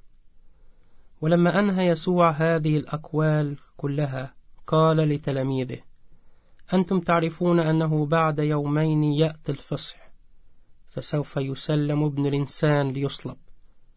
وعندئذ اجتمع رؤساء الكهنة وشيوخ الشعب في دار رئيس الكهنة المدعو قيافة وتآمروا ليقبضوا على يسوع بمكر ويقتلوه. ولكنهم قالوا لا نفعل ذلك في العيد لئلا يحدث اضطراب بين الشعب. وإذ كان يسوع في بيت عنيا عند سمعان الأبرص جاءت إليه امرأة تحمل قارورة عطر غالي الثمن وسكبته على رأسه وهو متكئ. فاستاء التلاميذ لما رأوا ذلك وقالوا لماذا هذا التبذير؟ فقد كان يمكن أن يباع هذا العطر بكثير ويوهب الثمن للفقراء. وإذ علم يسوع بذلك قال لهم لماذا تضايقون هذه المرأة؟ قد عملت بي عملا حسنا فإن الفقراء عندكم في كل حين أما أنا فلن أكون عندكم في كل حين. فإنها إذ سكبت العطر على جسمي فقد فعلت ذلك إعدادا لدفني. والحق أقول لكم إنه حيث ينادى بهذا الإنجيل في العالم أجمع. يحدث أيضا بما عملته هذه المرأة إحياء لذكرها. عندئذ ذهب واحد من الاثني عشر وهو المدعو يهوذا الإسخريوطي إلى رؤساء الكهنة وقال كم تعطونني لأسلمه إليكم؟ فوزنوا له ثلاثين قطعة من الفضة. ومن ذلك الوقت أخذ يهوذا يتحين الفرصة لتسليمه. وفي اليوم الأول من أيام الفطير تقدم التلاميذ إلى يسوع يسألون أين تريد أن نجهز لك الفصح لتأكل؟ أجابهم ادخلوا المدينة واذهبوا إلى فلان وقولوا له المعلم يقول إن ساعتي قد اقتربت وعندك سأعمل الفصح مع تلاميذي ففعل التلاميذ ما أمرهم به يسوع وجهزوا الفصح هناك وعند المساء اتكأ الاثني عشر وبينما كانوا يأكلون قال الحق أقول لكم إن واحدا منكم سيسلمني. فاستولى عليهم الحزن الشديد وأخذ كل منهم يسأله هل أنا يا رب؟ فأجاب الذي يغمس يده معي في الصحفة هو الذي يسلمني. إن ابن الإنسان لا بد أن يمضي كما قد كتب عنه. ولكن الويل لذلك الرجل الذي على يده يسلم ابن الإنسان كان خيرا لذلك الرجل لو لم يولد. فسأله يهوذا مسلمه هل أنا هو يا معلم؟ أجابه أنت قلت. وبينما كانوا يأكلون أخذ يسوع رغيفا وبارك وكسر وأعطى التلاميذ وقال خذوا كلوا هذا هو جسدي. ثم أخذ الكأس وشكر وأعطاهم قائلا اشربوا منها كلكم. فإن هذا هو دم الذي للعهد الجديد والذي يسفك من أجل كثيرين لمغفرة الخطايا. على أن يقول لكم إني لا أشرب بعد اليوم من نتاج الكرمة هذا حتى يأتي اليوم الذي فيه أشربه معكم جديدا في ملكوت أبي. ثم رتلوا من المزامير وانطلقوا خارجا إلى جبل الزيتون. عندئذ قال لهم يسوع في هذه الليلة ستشكون في كلكم. لأنه قد كتب سأضرب الراعي فتتشتت خراف القطيع. ولكن بعد قيامتي أسبقكم إلى الجليل. فرد عليه بطرس قائلا ولو شك فيك الجميع فأنا لا أشك. أجابه يسوع الحق أقول لك إنك في هذه الليلة قبل أن يصيح الديك تكون قد أنكرتني ثلاث مرات. فقال بطرس ولو كان علي أن أموت معك لا أنكرك أبدا. وقال التلاميذ كلهم مثل هذا القول. ثم ذهب يسوع وتلاميذه إلى بستان يدعى جسيماني وقال لهم اجلسوا هنا ريثما أذهب إلى هناك وأصلي. وقد أخذ معه بطرس وابني زبدي وبدأ يشعر بالحزن والكآبة. فقال لهم نفسي حزينة جدا حتى الموت. ابقوا هنا واسهروا معي. وابتعد عنهم قليلا وارتمى على وجهه يصلي قائلا يا أبي إن كان ممكنا فلتعبر عني هذه الكأس ولكن لا كما أريد أنا بل كما تريد أنت. ورجع إلى التلاميذ فوجدهم نائمين. فقال لبطرس أهكذا لم تقدروا أن تسهروا معي ساعة واحدة؟ اسهروا وصلوا لكي لا تدخلوا في تجربة. إن الروح نشيط أما الجسد فضعيف. وذهب ثانية يصلي فقال يا أبي إن كان لا يمكن أن تعبر عني هذه الكأس إلا بأن أشربها فلتكن مشيئتك. ورجع إلى التلاميذ فوجدهم نائمين أيضا لأن النعاس أثقل أعينهم. فتركهم وعاد يصلي مرة ثالثة وردد الكلام نفسه. ثم رجع إلى تلاميذه وقال ناموا الآن واستريحوا. حانت الساعة وسوف يسلم ابن الإنسان إلى أيدي الخاطئين. قوموا لنذهب. ها قد اقترب الذي يسلمني. وفيما هو يتكلم إذا يهوذا أحد الاثني عشر قد وصل ومعه جمع عظيم يحملون السيوف والعصي. وقد أرسلهم رؤساء الكهنة وشيوخ الشعب وكان مسلمه قد أعطاهم علامة قائلا الذي أقبله فهو هو فاقبضوا عليه. فتقدم في الحال إلى يسوع وقال سلام يا سيدي. وقبله فقال له يسوع يا صاحبي لماذا أنت هنا؟ فتقدم الجمع وألقوا القبض على يسوع وإذا واحد من الذين كانوا مع يسوع قد مد يده واستل سيفه وضرب عبد رئيس الكهنة فقطع أذنه. فقال يسوع له رد سيفك إلى غمده فإن الذين يلجؤون إلى السيف بالسيف يهلكون. أم تظن أني لا أقدر الآن أن أطلب إلى أبي فيرسل لي أكثر من اثني عشر جيشا من الملائكة؟ ولكن كيف يتم الكتاب حيث يقول إن ما يحدث الآن لا بد أن يحدث؟ ثم وجه يسوع كلامه إلى الجموع قائلا أكما على لص خرجتم بالسيوف والعصي لتقبضوا علي. كنت كل يوم بينكم أعلم في الهيكل ولم تقبضوا علي. ولكن قد حدث هذا كله لتتم كتابات الأنبياء. عندئذ تركه التلاميذ كلهم وهربوا. وأما الذين قبضوا على يسوع فساقوه إلى قياف رئيس الكهنة وقد اجتمع عنده الكتبة والشيوخ. وتبعه بطرس من بعيد إلى دار رئيس الكهنة. ثم تقدم إلى الداخل وجلس بين الحراس ليرى النهاية. وانعقد المجلس اليهودي الأعلى بحضور رؤساء الكهنة والشيوخ كلهم. وبحثوا عن شهادة زور على يسوع ليحكموا عليه بالموت. ولكنهم لم يجدوا مع أنه حضر شهود زور كثيرون. أخيرا تقدم اثنان وقالا هذا قال إني أقدر أن أهدم هيكل الله وأبنيه في ثلاثة أيام. فوقف رئيس الكهنة وسأله أما تجيب بشيء على ما يشهد به هذان عليك؟ ولكن يسوع ظل صامتا.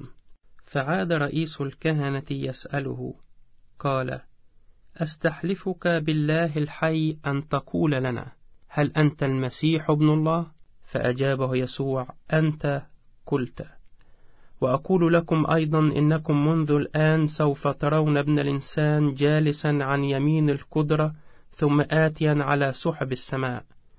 فشك رئيس الكهنة ثيابه وصرخ قد جدف لا حاجة بنا بعد إلى شهود وها أنتم قد سمعتم تجديفه فما رأيكم؟ أجابوا يستحق عقوبة الموت. فبصقوا في وجهه وضربوه ولطمه بعضهم قائلين تنبأ لنا أيها المسيح من ضربك؟ في تلك الأثناء كان بطرس جالسا في الدار الخارجية فتقدمت إليه خادمة وقالت وأنت كنت مع يسوع الجليلي؟ فأنكر بطرس أمام الجميع وقال لا أدري ما تقولين. ثم خرج إلى مدخل الدار فعرفته خادمة أخرى فقالت للحاضرين هناك وهذا كان مع يسوع الناصري. فأنكر بطرس مرة ثانية وأقسم إني لا أعرف ذلك الرجل. وبعد قليل تقدم الواقفون هناك إلى بطرس وقالوا له بالحق إنك واحد منهم فإن لهجتك تدل عليك. فابتدأ بطرس يلعن ويحلف قائلا إني لا أعرف ذلك الرجل. وفي الحال صاح الديك. فتذكر بطرس كلمة يسوع إذ قال له قبل أن يصيح الديك تكون قد أنكرتني ثلاث مرات. فخرج إلى الخارج وبكى بكاء مرا. الأصحاح الثامن والعشرون. وفي اليوم الأول من الأسبوع بعد انتهاء السبت ذهبت مريم المجدلية ومريم الأخرى تتفقدان القبر. فإذا زلزال عنيف قد حدث لأن ملاكا من عند الرب نزل من السماء وجاء فدحرج الحجر وجلس عليه. وكان منظر الملاك كالبرق وثوبه أبيض كالثلج. ولما رآه الجنود الذين كانوا يحرسون القبر أصابهم الذعر وصاروا كأنهم موتى. فطمأن الملاك المرأتين قائلا لا تخافا فأنا أعلم أنكما تبحثان عن يسوع الذي صلب. إنه ليس هنا فقد قام كما قال. تعاليا وانظرا المكان الذي كان موضوعا فيه. واذهبا بسرعة واخبرا تلاميذه أنه قد قام من بين الأموات. وها هو يسبقكم إلى الجليل. هناك ترونه. ها أنا قد أخبرتكما. فانطلقت المرأتان من القبر مسرعتين وقد استولى عليهما خوف شديد وفرح عظيم. وركضتا إلى التلاميذ تحملان البشرى وفيما هما منطلقتان لتبشرا التلاميذ. إذا يسوع نفسه قد التقاهما وقال سلام. فتقدمتا وأمسكتا بقدميه وسجدتا له فقال لهما يسوع لا تخافا اذهبا قولا لإخوتي أن يوافوني إلى الجليل وهناك يرونني. وبينما كانت المرأتان ذاهبتين إذا بعض الحراس قد ذهبوا إلى المدينة وأخبروا رؤساء الكهنة بكل ما جرى فاجتمع رؤساء الكهنة والشيوخ وتشاوروا في الأمر ثم رشوا الجنود بمال كثير وقالوا لهم قولوا إن تلاميذه جاءوا ليلا وسرقوه ونحن نائمون. فإذا بلغ الخبر الحاكم فإننا ندافع عنكم فتكونون في مأمن من أي سوء. فأخذ الجنود المال وعملوا كما لقنوا وقد انتشرت هذه الإشاعة بين اليهود إلى اليوم. وأما التلاميذ الأحد عشر فذهبوا إلى منطقة الجليل إلى الجبل الذي عينه لهم يسوع فلما رأوه سجدوا له ولكن بعضهم شكوا فتقدم يسوع وكلمهم قائلا قد سلمت كل سلطة في السماء وعلى الأرض فاذهبوا إذا وتلمذوا جميع الأمم وعمدوهم باسم الاب والابن والروح القدس وعلموهم أن يعملوا بكل ما أوصيتكم به. وها أنا معكم كل الأيام إلى انتهاء الزمان؟